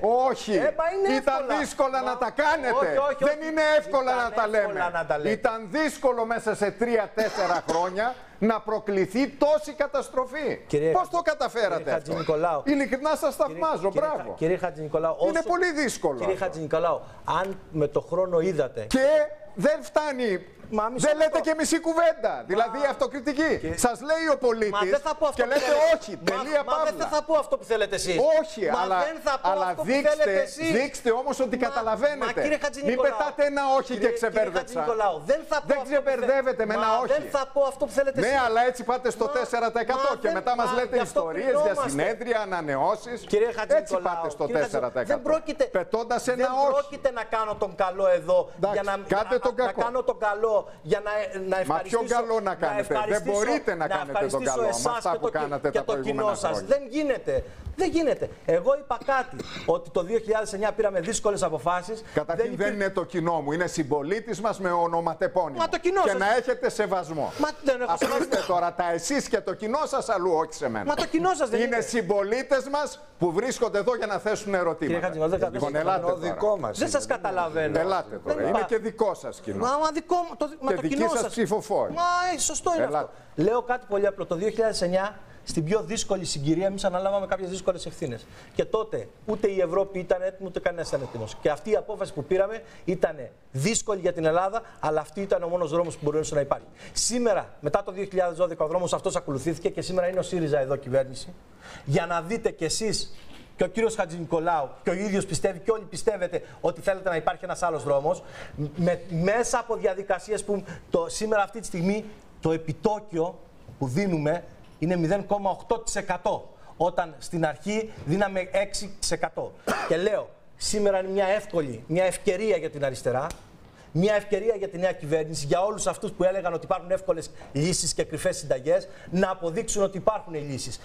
Εδώ δεν θα πω αυτό που ο κύριος ε, ε, Τσίπρας, Ιδού Ηρόδος και το πείδημα και την επόμενη εβδομάδα θα δείτε και το υπόλοιπο. Εύχομαι και ελπίζω να κάναμε εμείς λάθος. Ναι, κύριε Πεταλωτή. Ναι, κοιτάξτε, ε, η απορία του συμπολίτη μας είναι μια εύλογη απορία. Αλλά να, δεν, δεν μπορούμε να τα λέμε όλα, λες και βρισκόμαστε σε ένα κενό αέρος. Υπάρχουν συγκεκριμένες συνθήκες από τις οποίες ξεκινήσαμε. Υπάρχει συγκεκριμένος λόγος και τρόπος έτσι όπως προχωρήσαμε. Είναι ξεκάθαρο, αλλιώς Κύριε απομονωμένα. Πεταλωτή, μου αν, κάνουμε, επιτρέπετε μια μικρή διακοπή. αν κάνουμε την διατύπωση τη Υπάρχει πραγματικότητας, αίσθηση στην είναι κοινωνία. έτσι. Υπάρχει- Το θέμα όμω. Κύριε Πεταλωτή, Ναι, μισό βεβαίως, λεπτό. βεβαίως. Υπάρχει αίσθηση στην κοινωνία ότι αυτή η θεωρία των ισοδύναμων που την πρωτοακούσαμε να τη λέει ο Σαμαράς στα Αζάπια είναι μια πραγματικότητα. Ότι δηλαδή Επειδή, πολλές επειδή φορές... ακούγεται πολύ ακούστε ένα ευχάριστα, λεπτό να κύριε τελειώσω. Χατζηνικολάου, Μισή φράση. ακούγεται πολύ ευχάριστα. Μισή φράση, ακούστε. Ναι, με. βεβαίως. ότι πολλές φορές δηλαδή φορτώνατε οι κυβερνήσεις, όχι μόνο εσείς, και της Νέας Δημοκρατίας, στην Τρόικα, πράγματα που δεν σας είπε η Τρόικα να κάνετε. Η Τρόικα σας έδειχνε ένα δρόμο και σας έλεγε θέλω αυτό το αποτέλεσμα.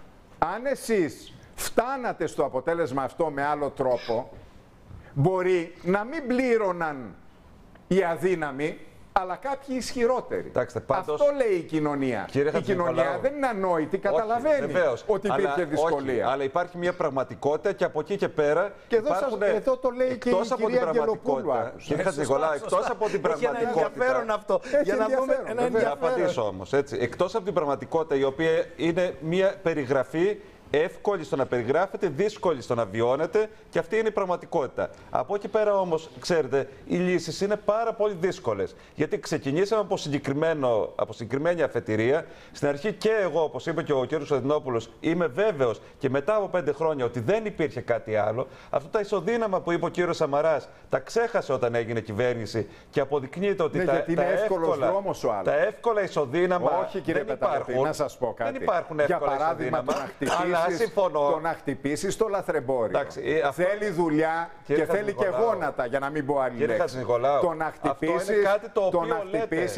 Χτυπήσεις τις ενδοομιλικές συναλλαγές. Θέλει Ε, δουλειά και ήμασταν οι γόνατα. πρώτοι για τις Το να ενδομιλικέ χτυπήσεις. συναλλαγές. Μα δεν έγινε τίποτα. Όχι, κάντε λάθος. Ε, Εμείς πώς κάνουμε βάλαμε λάθος; τάξη και να σας πω κάτι. Το θέμα είναι και κατά πόσο είμαστε έτοιμοι να δεχτούμε ορισμένα πράγματα. Για να βάλουμε αυτό το έρμο, το βρεφικό γάλα από τα φαρμακεία να το πουλάνε και τα σούπερ μάρκετ, αντιμετωπίσαμε τα χίλια δύο προβλήματα από τους χίλιους δύο παράγοντες. Που ήταν κάτι πάρα πολύ απλό. Θέλω να πω ότι το να τα λέμε είναι εύκολα. Από εκεί και πέρα είναι σαφές Σαφώς, ότι το να δεν τα κάνεις γίναν- είναι δύσκολα. Το κάναμε όμως. Είναι σαφές ότι δεν έγιναν όσα έπρεπε να γίνουν. Και είναι ξεκάθαρο ότι τα πράγματα πλέον είναι πολύ πιο χαρτογραφημένα πέντε χρόνια μετά. Είναι ξεκάθαρο ότι όντως θα πρέπει να βρούμε λύσεις τέτοιες, οι οποίες τα αδύναμα κοινωνικά στρώματα να μην πληρώνουν όσα πλήρωναν το, όλο αυτό το διάστημα. Αλλά από εκεί και πέρα το να λέμε ότι είναι εύκολο να αυξήσουμε τους μισθούς, το να δώσουμε δώρα, το να κάνουμε οτιδήποτε ακούγεται πάρα πολύ ευχάριστα στον οποιοδήποτε πολίτη, ακόμη και σε μένα, εκεί είναι το δύσκολο και εκεί θα δοκιμαστούμε Μάλιστα. όλοι. Πάμε σε μια μικρή διακοπή. Έρχομαι από εκεί στη συνέχεια για δύο-τρία ερωτήματα ακόμη.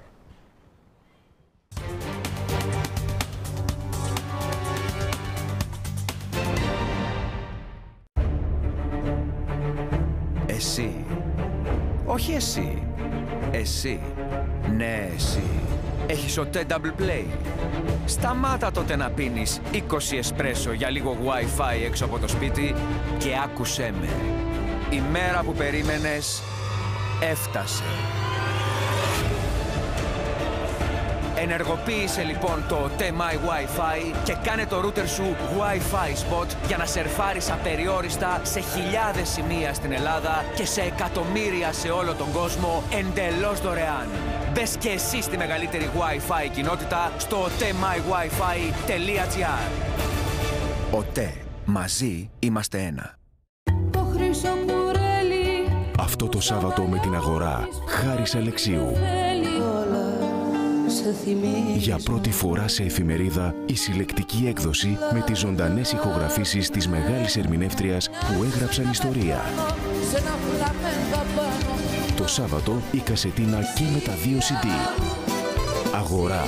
Νέα πολιτική και οικονομική εφημερίδα με την υπογραφή του Νίκου Χατζηνικολάου.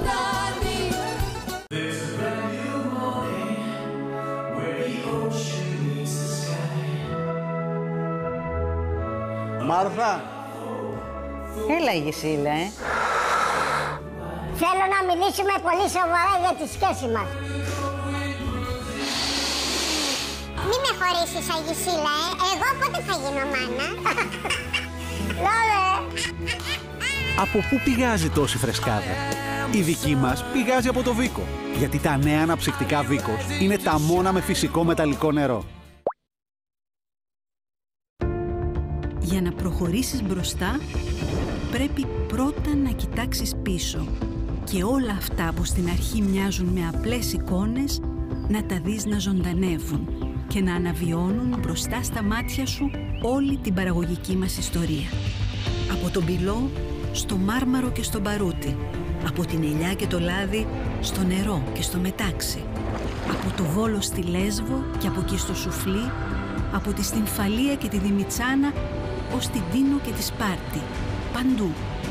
Ένα ταξίδι που θα σε κάνει να καταλάβεις ότι οι Έλληνες ήξεραν πάντα να αξιοποιούν τους φυσικούς πόρους, να δημιουργούν, να καινοτομούν και τελικά να προχωράνε μπροστά. Αυτό το ταξίδι κάνουμε πάνω από 10 χρόνια τώρα στο Πολιτιστικό Ίδρυμα του Ομίλου Πειραιός.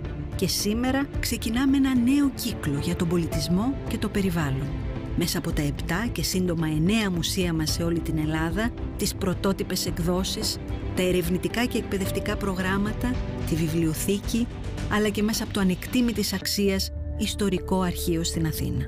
Αυτή είναι η κληρονομιά μας. Αυτή είναι η ταυτότητά μας.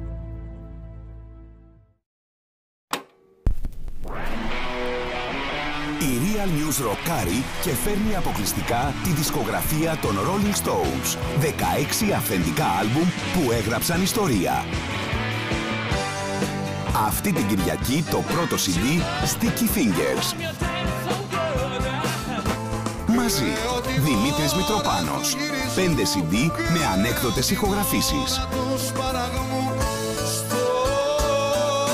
Αυτή την Κυριακή η Κασετίνα με το πρώτο CD. Real News, η αληθινή εφημερίδα.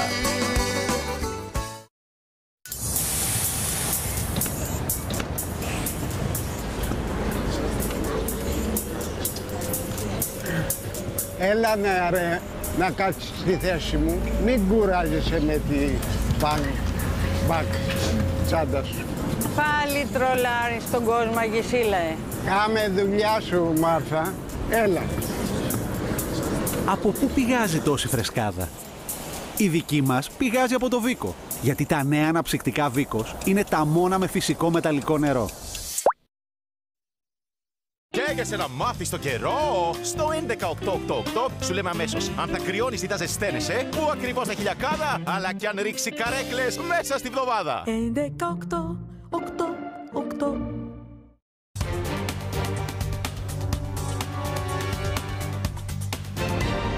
Μπαίνουμε στα τελευταία λεπτά της εκπομπής. Έλα, το όνομά σας και το ερώτημα. Καλησπέρα. Γιάννης Μανιάτης λέγομαι. Είμαι από το Σύλλογο Ασφαλισμένων Ανασφάλιστων ΟΑΕ. Εδώ είστε ο Αττικής. Γιάννης Μανιάτης. Δεν σας καλέσαμε ως σύλλογο. Σωστό, Πείτε ναι. το ερώτημά σας. Ε, αναφέρθηκε ο κύριος Παπαδημούλης και ο κύριος Κουίκ προηγουμένως σε κάποια ατζέτα θεμάτων.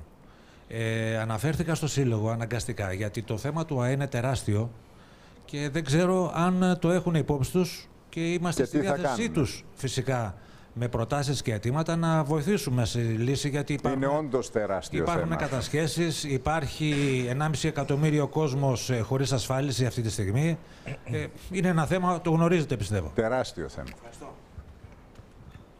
Θα δώσετε κάποια απάντηση. Κοιτάξτε, η δική μας η θέση, η τοποθέτηση, την οποία και θα την βάλουμε στο επιτελείο της κυβέρνησης, είναι πρώτον ότι εκείνοι οι οποίοι έχουν ε, κατοχυρώσει δικαίωμα συνταξιοδότησης, αλλά επειδή χρωστούν δεν μπορούν να πάρουν τη σύνταξη, θα την πάρουν τη σύνταξη υποχρεωτικά και θα παρακρατείται ένα μικρό ποσό ε, σε βάρος για τις οφειλές, εάν, εάν, εάν αυτό εννοείται. Ε, υπάρχουν εννοεί κάποιες αυτό. προτάσεις, οι οποίες αρκετές από αυτές είναι χωρίς κάποιο κόστος. Περισσότερο είναι θέμα αποφάσεων, πολιτικών αποφάσεων. Θα σας πω, δεύτερον, Πείτε, Είμαστε το, στη πα- διάθεσή πείτε σας. το Η- παράδειγμα που μου είπατε για να γίνει κατανοητό. γιατί άλλο Επίσης έχουμε κατάλαβα. προτείνει- Τι σας είπα εκείνη την ώρα, κύριε, δεν το θυμάμαι, κύριε Κακλαμάνη. Έχουμε Συγγνώμη. επίσης προτείνει ότι θα πρέπει να ξεχωρίσουμε το συνταξιδοτικό από το ιατροφαρμακευτικό. Φυσικά. Έτσι, γιατί εκεί το αντιμετώπισα πάρα πολύ έντονα, όπου και να πήγαινα σε όλη την Ελλάδα δυόμιση χρόνια το ζήτημα. Γιατί καταρχήν μιλάμε για ένα τραγέλαφο. Ε, ο, ο ασφαλισμένος ασφαλίζει τον εαυτό του και βρίσκεται να διώκεται επειδή δεν μπορεί να πληρώσει ενδεχομένως για αυτά που χρωστάει στον εαυτό του. Ήμουν από εκείνους που αποκάλυψαν ότι οι πρώτοι οι οποίοι διώχθηκαν με κατασχέση από τον ΟΕ ήταν οι ταξιτζίδες στη Λαμία. Χατζη Νικολάου Καραπιπέρης ονομάζομαι. Απλώς να υπενθυμίσω στον φίλο μου Μήπως τον θα συμπολίτη. έπρεπε και ο κύριος Παπαδημούλης Ναι, να μόνο ο κύριος απαντήσει στον Κουίκ κύριο. είναι στην Γιατί ο κυβέρνηση. κύριος Κουίκ είπε απλά θα το υπάρχει μια θέσουν στην συνεννόηση στην κυβέρνηση. κυβέρνηση, Εγώ θέλω να ακούσω τον κορμό ΣΥΡΙΖΑ στην κυβέρνηση ποια είναι η απάντηση στο πρόβλημα που έβαλε ο κύριος. Η δράση θέλει να ακούσει. Να Είναι το δεξιό κομμάτι της όχθης. Θέλει να ακούσει τι γίνεται.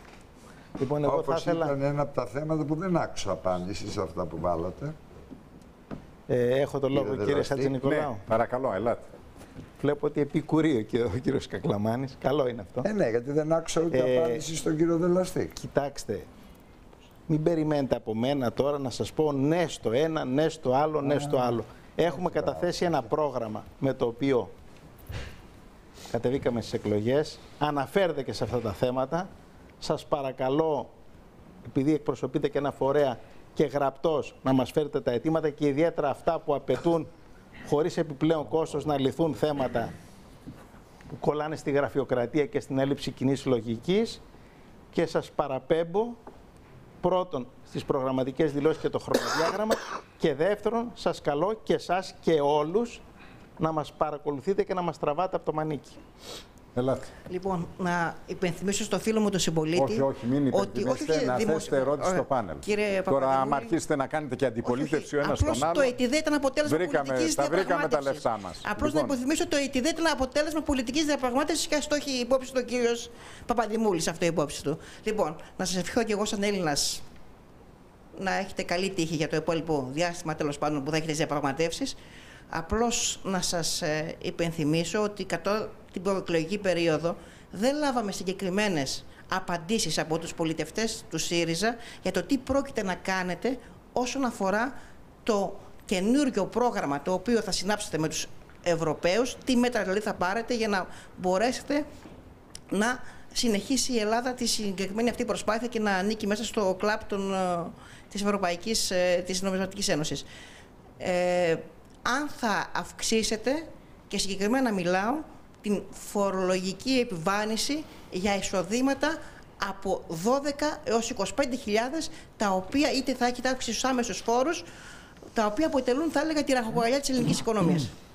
Αν αυτό θα αποτελεί δηλαδή αύξηση στους φόρους μέρος του εθνικού προγράμματος το οποίο θα συμφωνήσετε με τους εταίρους. Απαντώ. Παρακαλώ. Ο βασικός στόχος της διαπραγμάτευσης με τους εταίρους έχει ως στόχο τη δραστική μείωση του χρέους, όπου επιδιώκουμε μία αμοιβαία αποδεκτή λύση. Εμείς θα βάλουμε τους δικούς μας στόχους, αυτοί θα πούν τα δικά τους. Αλλά επειδή κανένα δεν συμφέρει η ρήξη, πιστεύουμε θα πετύχουμε μια δραστική βελτίωση της σημερινής κατάστασης. Και ο δεύτερος στόχος είναι να πάψουν να υπάρχουν αυτοί οι εξωπραγματικοί στόχοι για το πρωτογενές πλεόνασμα, 3 και 4,5% για του χρόνου, έτσι ώστε από αυτές τις δύο πηγές κάποια χρήματα να πέσουν στην ανάπτυξη και στη μείωση της ανεργίας. Σε ό,τι αφορά τις μεταρρυθμίσεις, χρόνια τώρα, στα χρόνια του Μνημονίου, την ώρα που κόψαν 40% μισθός σύνταξη κοινωνικό κράτος, δεν έγινε τίποτα ουσιαστικό για τη δίκαιη φορολογία όπως επιτάσσει το Σύνταγμα, για τον περιορισμό της φοροδιαφυγής, για τα ρετυρέ που δεν πληρώνουν φόρους. Το λαθρεμπόριο των καυσίμων είναι ένα παράδειγμα, η λίστα Λαγκάρτη είναι ένα άλλο, τα μεγάλα ακριβά ακίνητα που είναι κρυμμένα πίσω από offshore είναι ένα άλλο. Τα, οι τροπολογίες της Μόνο νύχτας... στο κρανίδι να πάτε και να κάνετε Οι τροπολογίες της νύχτας που απαλλάσσαν από βεβαιωμένα πρόστιμα είναι ένα άλλο. Στη δε διοίκηση, το πελατειακό κράτος, οι χιλιάδες σύμβουλοι που δεν ανήκουν στη διοίκηση αλλά στελεχώνουν τα υπουργικά γραφεία, επειδή ανήκουν στα κόμματα, κοστίζουν εκατομμύρια ευρώ.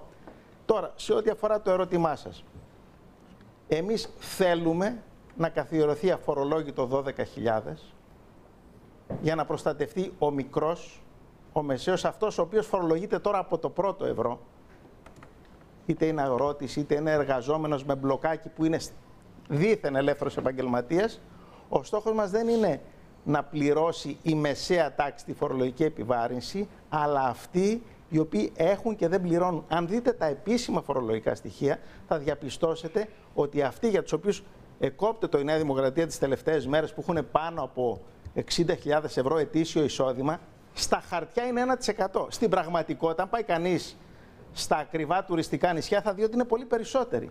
Βέβαια, έχετε υπόψη σας ότι μπορεί αρκετοί από αυτούς να είναι αυτοί που δεν κλέβουν. Γι' αυτό και δηλώνουν τόσα. Βεβαίως. Ναι, να, να, και να το έχετε προσθέσω υπόψη και σας, κάτι ακόμη. γιατί με μεγάλη ευκολία τους κατατάσσετε αυτούς πολύ συχνά, ορισμένα από τα στελέχη σας, στη φοροδιαφυγή. Δεν είναι έτσι. Όχι, Ενώ όχι, όχι. έως 12.000 Εγώ λέω- μπορεί να βρείτε εγώ φοροδιαφυγή λέω Είναι ότι έτσι. Αυτός που Ασύλληπτο. δηλώνει, Εγώ λέω, κύριε αυτός που Χατζηνικολάου. δηλώνει ένα μεγάλο Ακριβώς. ποσό Εγώ- σημαίνει ότι είναι έντιμος φορολογούμενος. Αυτοί που δηλώνουν τα μεγάλα ποσά είναι συνήθως υψηλόβαθμα στελέχη εταιριών μεγάλων μισθωτή. Αλλά υπάρχει ένα Όχι μεγάλο πάντα, κομμάτι. όχι πάντα. Οι επιχειρηματίες οι οποίοι σύμφωνα. είναι συνεπείς. Υπάρχει όμως και ένα κομμάτι μαύρης οικονομίας. Έχετε δίκιο σε αυτό. Και να πω βεβαίως, και κάτι Κάρη. ακόμη. Απλώς μην γίνει Βλέποντας- κυνήγι μαγισσών αυτό, βλέποντας- γιατί αυτό είναι άλλο κακό μετά. Όχι, όχι, όχι. Το οποίο κάνει ζημιά στην Έχ- οικονομία. Έχετε δίκιο. Και να προσθέσω και κάτι ακόμη. Δεν αρκεί να φτιάξεις έναν καλό νόμο. Πρέπει να φτιάξεις και μηχανισμούς για την εφαρμογή του νόμου. Αυτό είναι γιατί σωστό. στα χρόνια που κυβερνιέται η Ελλάδα, 40 χρόνια Μα από δεν Νέα μας Δημοκρατία λείπουν οι και νόμοι, Πασόκ, κύριε Παπαδημούλη. Αυτό, Έχετε αυ- δίκιο σε αυτό αυτό θέλω που να πω. λέτε. Ο μέσος όρος ψήφι φορολογικών νομοσχεδίων το χρόνο ήταν 10 το χρόνο και χίλιες ερμηνευτικές εγκύκλοι που σημαίνει το βασίλειο της γραφειοκρατίας και της κλεψιάς. Να σας πω το πιο απλό πράγμα. Στα Θα νησιά το απαντήσετε καλοκαίρι. όμως το ερώτημα Απόδειξη του δεν κυρίου, κόβεται γιατί δεν πουθενά. απαντήσατε. Έλεγχος δεν υπάρχει. Εγώ έκανα συγκεκριμένη ερώτηση. Ναι, και Χωρίς απάντηση μικρόφωνο δεν είναι κάνατε πέντε τίποτα. λεφτά μιλάγατε, αλλά δεν, Δεν απαντήσατε ακούγεται. στο ερώτημα. Κύριε Παπαδημούλη, έκανα συγκεκριμένη ερώτηση για να αποφύγω αυτό που είπατε ότι η Νέα Δημοκρατία κομπτόταν για το 1% όταν προέκυψε το θέμα με το 60% ή 50% που έδωσε σαν όριο ο κ. Τσεκαλώτο. Εγώ σας μιλάω για τη ραχακοκαλιά. Νομίζω το 55% των εσόδων προέρχονται από άτομα που έχουν εισοδήματα από 12 έως 25.000. Αν θα υπάρχει μέσω της συμφωνίας που θα κάνετε με τους Ευρωπαίους κάποια φορολογική επιβάρυνση, δηλαδή έστω και ένα ευρώ συνολικά σε αυτή την ομάδα των ανθρώπων, δηλαδή θα φορολογήσετε κοινώς στη μεσαία τάξη για να μπορέσετε να συλλέξετε έσοδα έτσι ώστε να συμφωνήσετε στο καινούργιο πρόγραμμα Μάλιστα. με τους εταίρους μας. Η απάντηση είναι ότι δεν σκοπεύουμε να επιβαρύνουμε τη μεσαία Μάλιστα. τάξη και να περιμένετε να δείτε το φορολογικό μας νομοσχέδιο, να μας καταθέσετε και προτάσεις και περιμένω από αυτούς οι οποίοι σβήνανε πρόστιμα, όχι της μεσαίας τάξης, των Σαφέστατη μεγάλων, να απάντηση. συμβάλλουν. Ελάτε. Γεια σας, ε, ονομάζομαι Ελευθεράκης Γιώργος, είμαι φοιτητής της Νομικής Σχολής των Αθηνών και θέλω να απευθυνθώ σε, α, στους εκπροσώπους της συγκυβέρνησης κυρίως, ε, που απήλθε στο, του Πασόκ και της Νέας Δημοκρατίας. Ε, είμαστε σε κρίση, όλοι το γνωρίζουμε. Ο κατώτατος, ο κατώτατος μισθός έχει, φτια- έχει φτάσει στα 450 ευρώ. Ε, το ποσό αυτό είναι πραγματικά μικρό. Αλλά πρέπει να καταλάβετε όλοι εδώ ότι υπάρχουν συμπολίτες μας οι οποίοι ζουν με 450 ευρώ μισθό. Ε, από ό,τι γνωρίζω, οι βουλευτές έχουν κάνει περικοπές. Ε, αλλά νομίζω και όποιος θέλει μπορεί να με, να με διορθώσει ότι η βουλευτική αποζημίωση ανέρχεται γύρω στα 6.500 με 7.000 ευρώ το, το μήνα. Ή, το, ή 5.000 ευρώ, όπως μου κάνει, ε, με διορθώνει ο κύριος Κουίκ. Ε, εγώ θέλω να ρωτήσω γιατί δεν έχει πάρθει μια νομοθετική πρωτοβουλία. Εγώ δεν ε, λέω να το κάνετε αυτό για πάντα, αλλά να πείτε, και το λέω απλά, να πείτε ότι ξέρεις τι γίνεται. Ο άλλος έχει υποχρεωθεί να, να παίρνει 450 ευρώ. Κάποιος συμπολίτης μας. Ο άλλος 700 ευρώ. Εμείς για τέσσερα χρόνια, ας πούμε, ή για, για δύο χρόνια, όπως όσα χρόνια θέλετε εσείς, θα πούμε αντί για 5.000 ευρώ, θα πάρουμε 2.000 ευρώ το μήνα. Και τα υπόλοιπα χρήματα θα τα χρησιμοποιήσουμε και για, να, για όποιο σκοπό θέλετε, για όποια αγαθοεργία θέλετε. Είτε για τους άπορους, είτε για τους φτωχούς. σω με αυτόν τον τρόπο μπορεί να είχαμε γλιτώσει και κάποιες αυτοκτονίες συμπολιτών μας. Ε, αυτό που λέω εγώ το έχει κάνει κατά κάποιο τρόπο η Χρυσή Αυγή. Εννοείται ότι εγώ είμαι της άποψης ότι η Χρυσή Αυγή είναι ένα, ένα ζητικό μόρφωμα. Έτσι. Και όποιος χρησιμοποιεί τη βία για να πετύχει τους σκοπούς του, εννοείται ότι είμαι αντίθετος με αυτόν. Έτσι. Αλλά γιατί εσείς που λέγεστε συνταγματικό τόξο, ας πούμε, και πιστεύω, και είναι καλοπροαίρετη η ερώτησή μου, έτσι, δεν θέλω να θίξω κανέναν, ότι είσαστε υπέρ του Έλληνα πολίτη και του, και του λαού, για ποιο λόγο δεν έχετε πάρει μια τέτοια πρωτοβουλία. Και αυτό, να πω, συγγνώμη, σίγουρα δεν θα σώσει το έθνος να μαζευτούν 15 εκατομμύρια ευρώ σε ένα χρόνο από τους βουλευτές. Όμως θα δείξει στον ε, Έλληνα πολίτη ότι ξέρεις τι, ο βουλευτής σου βάζει ε, η πλάτη, εμπράκτος, όχι με λόγια. Αυτή είναι η ερώτησή μου. Κύριε Κακλαμάνη. Θα ήθελα και εγώ να πω κάτι παρότι δεν Εντάξει. απευθύνεται και σε μένα. Ε, η ενημέρωσή σου είναι τελείως λανθασμένη. Τελείως και αφορά όλα τα κόμματα, αλλά θα απαντήσει ο καθένας για το κόμμα του. Πρώτον, η Χρυσή Αυγή σας πουλάει φούμαρα. Όχι, δεν, δεν με ενδιαφέρει. Απαντώ εγώ, άκουσα την ερώτηση, τώρα θα ακούσεις την απάντηση, η οποία θα είναι σκληρή. Ναι, ναι. Έτσι, σας πουλάει φούμαρα. Αυτό που δήθεν κάνει η Χρυσή Αυγή, Δεν με απασχολεί τι κάνει η Χρυσή Αυγή, με απασχολεί τι κάνετε εσείς. Εγώ δεν υποστηρίζω τη Χρυσή δεν Αυγή θα σε με καμία περίπτωση. ξαναδιακόψετε κύριε, Ναι. θα ακούσετε την απάντηση Ναι, τώρα. όμως δεν θα με εντάσσετε σε ομάδες με Ναι. τον τρόπο σας. Εγώ δεν σας εντάσσω σε καμία ομάδα. Επειδή την επικαλεστήκατε, θα την ακούσετε την απάντηση με τον τρόπο που εγώ θέλω. Δεν υπάρχει άλλη περίπτωση να Χωρίς αλλάξω να με άποψη. προσβάλλετε. Δεν Συνεχίστε. σας προσβάλλω καθόλου. Λοιπόν, αυτό το οποίο δήθεν κάνει, σας ενημερώνω ότι γίνονται από όλα τα κόμματα, από όλους τους βουλευτές, κρατήσεις για τα κόμματά μας και το κάθε κόμμα κάνει δράσεις τις οποίες δεν γνωρίζετε. Γιατί δεν τις διαφημίζει όπως τις διαφημίζουν αυτοί που επικαλεστήκατε. Εδώ είναι οι υπόλοιποι συνάδελφοι και θα σας απαντήσουμε. Δεύτερον, θα σας απαντήσω τώρα επειδή πέρασαν οι εκλογές και άρα δεν μπορώ να χαρακτηριστώ ότι το κάνω για να εισπράξω ψήφους και, επα- και επανεξελέγει μάλιστα, ότι εγώ το έχω κάνει πράξη πάρα πολλές φορές. Παραδείγματος χάρη μπορώ να σας ενημερώσω ότι με βάση τον νόμο όσο ήμουν δήμαρχος και είχα πάρει άδεια από το Πανεπιστήμιο βάσει τον νόμο έπρεπε να αμείβομαι. Ήταν 60.000 ευρώ, αλλά εγώ έκρινα ότι αφού δεν προσέφερα έργο δεν έπρεπε να τα πάρω και τα άφησα στο νοσοκομείο μου, αυτά τα 60 χιλιάρικα. Όταν παραδείγματος χάρη δεν έχω χρησιμοποιήσει ποτέ κανένα προνόμιο βουλευτού, είμαι 20 χρόνια βουλευτής και δεν πήρα ποτέ αυτοκίνητο από τη Βουλή, ποτέ. Σας το λέω τώρα που τέλειωσαν οι εκλογές. Ίσως βλέπω ότι έπρεπε να τα είχα πει πριν τις εκλογές. Ενδεχομένως.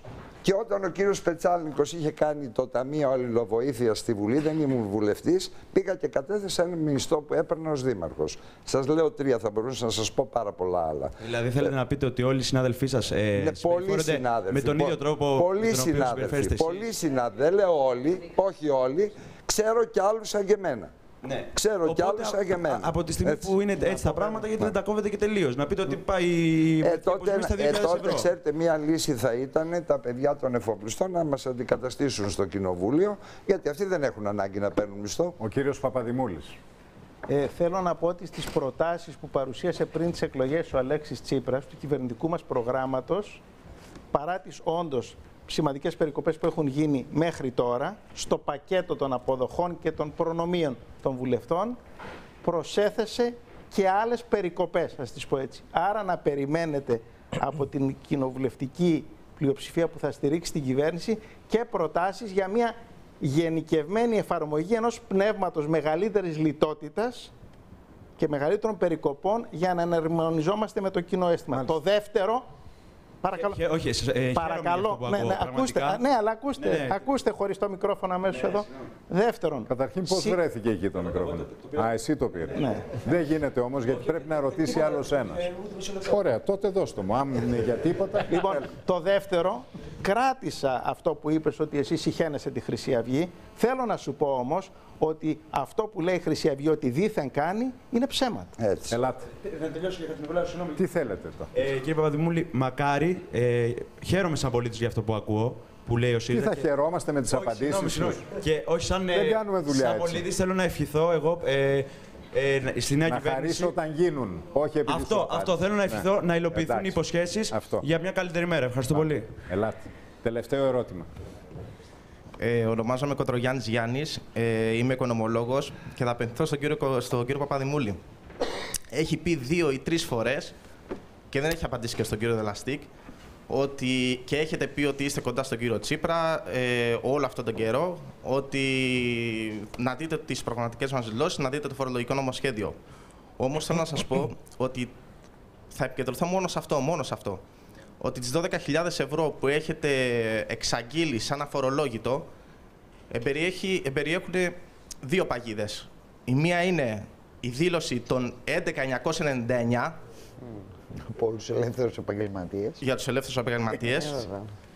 και η Το δεύτερη, έργο. ε, ε, και, και, και πάνω σε αυτό μάλλον θα συμπληρώσω, ότι είπατε πριν ότι πρέπει να υπάρχει φορολογικός ε, ελεκτικός μηχανισμός. Όχι πρέπει κύριε Παπαδημούλη, έπρεπε ήδη. Και όχι έπρεπε ήδη, όχι από τις προηγου- και από τις προηγούμενες κυβερνήσεις, αλλά έπρεπε ήδη αυτό να το είχατε προβλέψει μέσα στις ε, προγραμματικές δηλώσεις. Και όχι τώρα εκ των υστέρων να λέτε ότι θα δούμε. Καλά, πότε- καθίστε ακόμα δεν όρκησαν κυβέρνηση. όχι, όχι, δηλαδή. κύριε Χατζηνικολάου. Ε, όχι. Το 12 δηλαδή. χιλιαρό, το 12 χιλιαρό είναι, έτ- είναι εύκολο να το λέμε. Τι εννοείται εκ των υστέρων; Ναι. Ακόμη δεν έχει ορκιστεί η Ναι, κυβέρνηση. είναι εύκολο να λέμε ότι θα δώσουμε 12.000 Ναι. αφορολόγητο και να μην ξέρουμε πότε θα το δώσουμε. Το είχαμε, το είχαμε το 12.000 φορολόγητο μέχρι το 2009. Όλοι παλιότερα έγραφαν ήταν. 11.999. Ο κύριος Παπαδημούλης λοιπόν λέει τώρα 12.000 ξανά. Και δεν λέει και το πότε. Το σημαντικότερο. Το πότε. Από εβδομάδα. Από Λοιπόν, πότε; πάρτε Από του το εβδομάδα. μικρόφωνο. Από εδώ. το πήρα. Δημοκρατία. Λοιπόν, ε, όντως αυτό που επισημαίνει ο κύριος Κοτρογιάννης, τον οποίο δεν το βλέπω έτσι και πολύ αναποφάσιστο ψηφοφόρο, λοιπόν, βιάζεται από την πρώτη μέρα να κάνει επίκριση στην κυβέρνηση του ΣΥΡΙΖΑ. Θεμητό. Λοιπόν, όντως, αυτό είναι ένα πρόβλημα. Με τρίπιους και ανεπαρκείς φορολογικούς μηχανισμούς μπορείς από ένα μεγάλο κομμάτι φορολογουμένων να έχεις τη δήλωση των 11.999. Γι' αυτό επιμένω πολύ στο ότι πρέπει να φτιάξεις φορολογικούς μηχανισμούς και ένα απλό φορολογικό σύστημα για να μπορείς να ελέγχεις τη διαβλητή φορολογική δήλωση. Μέχρι να τους αλλά, φτιάξεις, δεν αλλά υπάρχει μισό θέμα. λεπτό, μισό λεπτό. για, να Αυτό μην είπε- τρε- το είπε ο για να μην τρελαθούμε κιόλας.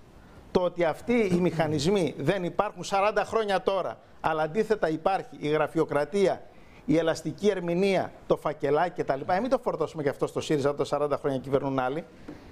Όντως όμως, για να μην έχεις μείωση φορολογικών εσόδων, πρέπει η υλοποίηση αυτού του στόχου να έχει και δικλείδες που να σου επιτρέψουν να μην δηλώνει πτωχός Αυτός που έχει πολλά λεφτά και μπορεί να τα κρύβει. Αυτό πώς Και- γίνεται, κύριε Παπαδημούλη, δηλαδή θα μας το πείτε ή, θε- ή ευχές ακόμη, ή στην Κύριε- κυβέρνηση; και, και αυτό είπε ο κ. Κοτρογιάννη. Κύριε Κεφαλωτή, λίγο φιλότιμο, και κύριε λίγο Κοτρογιάννη, σεμνότητα. όχι, ε, ε, όχι Εκπροσωπείτε γιατί το κόμμα που κάνατε- εφάρμοσε τα μνημόνια, Κύριε που Παπαδημούλη, βαρύνεται το με κάνατε σκάνδαλα. πριν τις εκλογές, αλλά σταματήστε να μας έλεος. παραμυθιάζετε Μη και μας σήμερα. κουνάτε το Αυτό είπε ο δάχτυλο. κύριος Κα... Εμείς- Όχι, θα, θα λέω τι θέλω, δεν κατάλαβα. Τι είστε εσείς δηλαδή; ξέρω. Εσείς μας πετούσατε Το πέτρες. ξέρω. Α, Εμείς θα μην εντάξει, κουνήσουμε το εντάξει, δάχτυλο, εντάξει. Βεβαίως. Δηλαδή θα φτιάξετε πρώτα ε, μηχανισμό ελεκτικό και μετά θα πείτε για τις 12.000.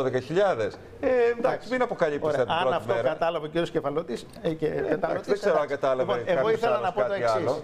Ήθελα να πω το εξής. Ότι έχουμε επίγνωση των δυσκολιών.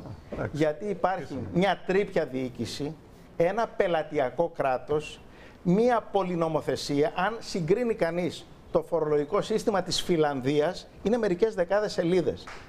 Και δεν υπάρχει και προσωπική συναλλαγή του φορολογούμενου με τον ε, εφοριακό. Γίνονται τα πράγματα ηλεκτρονικά.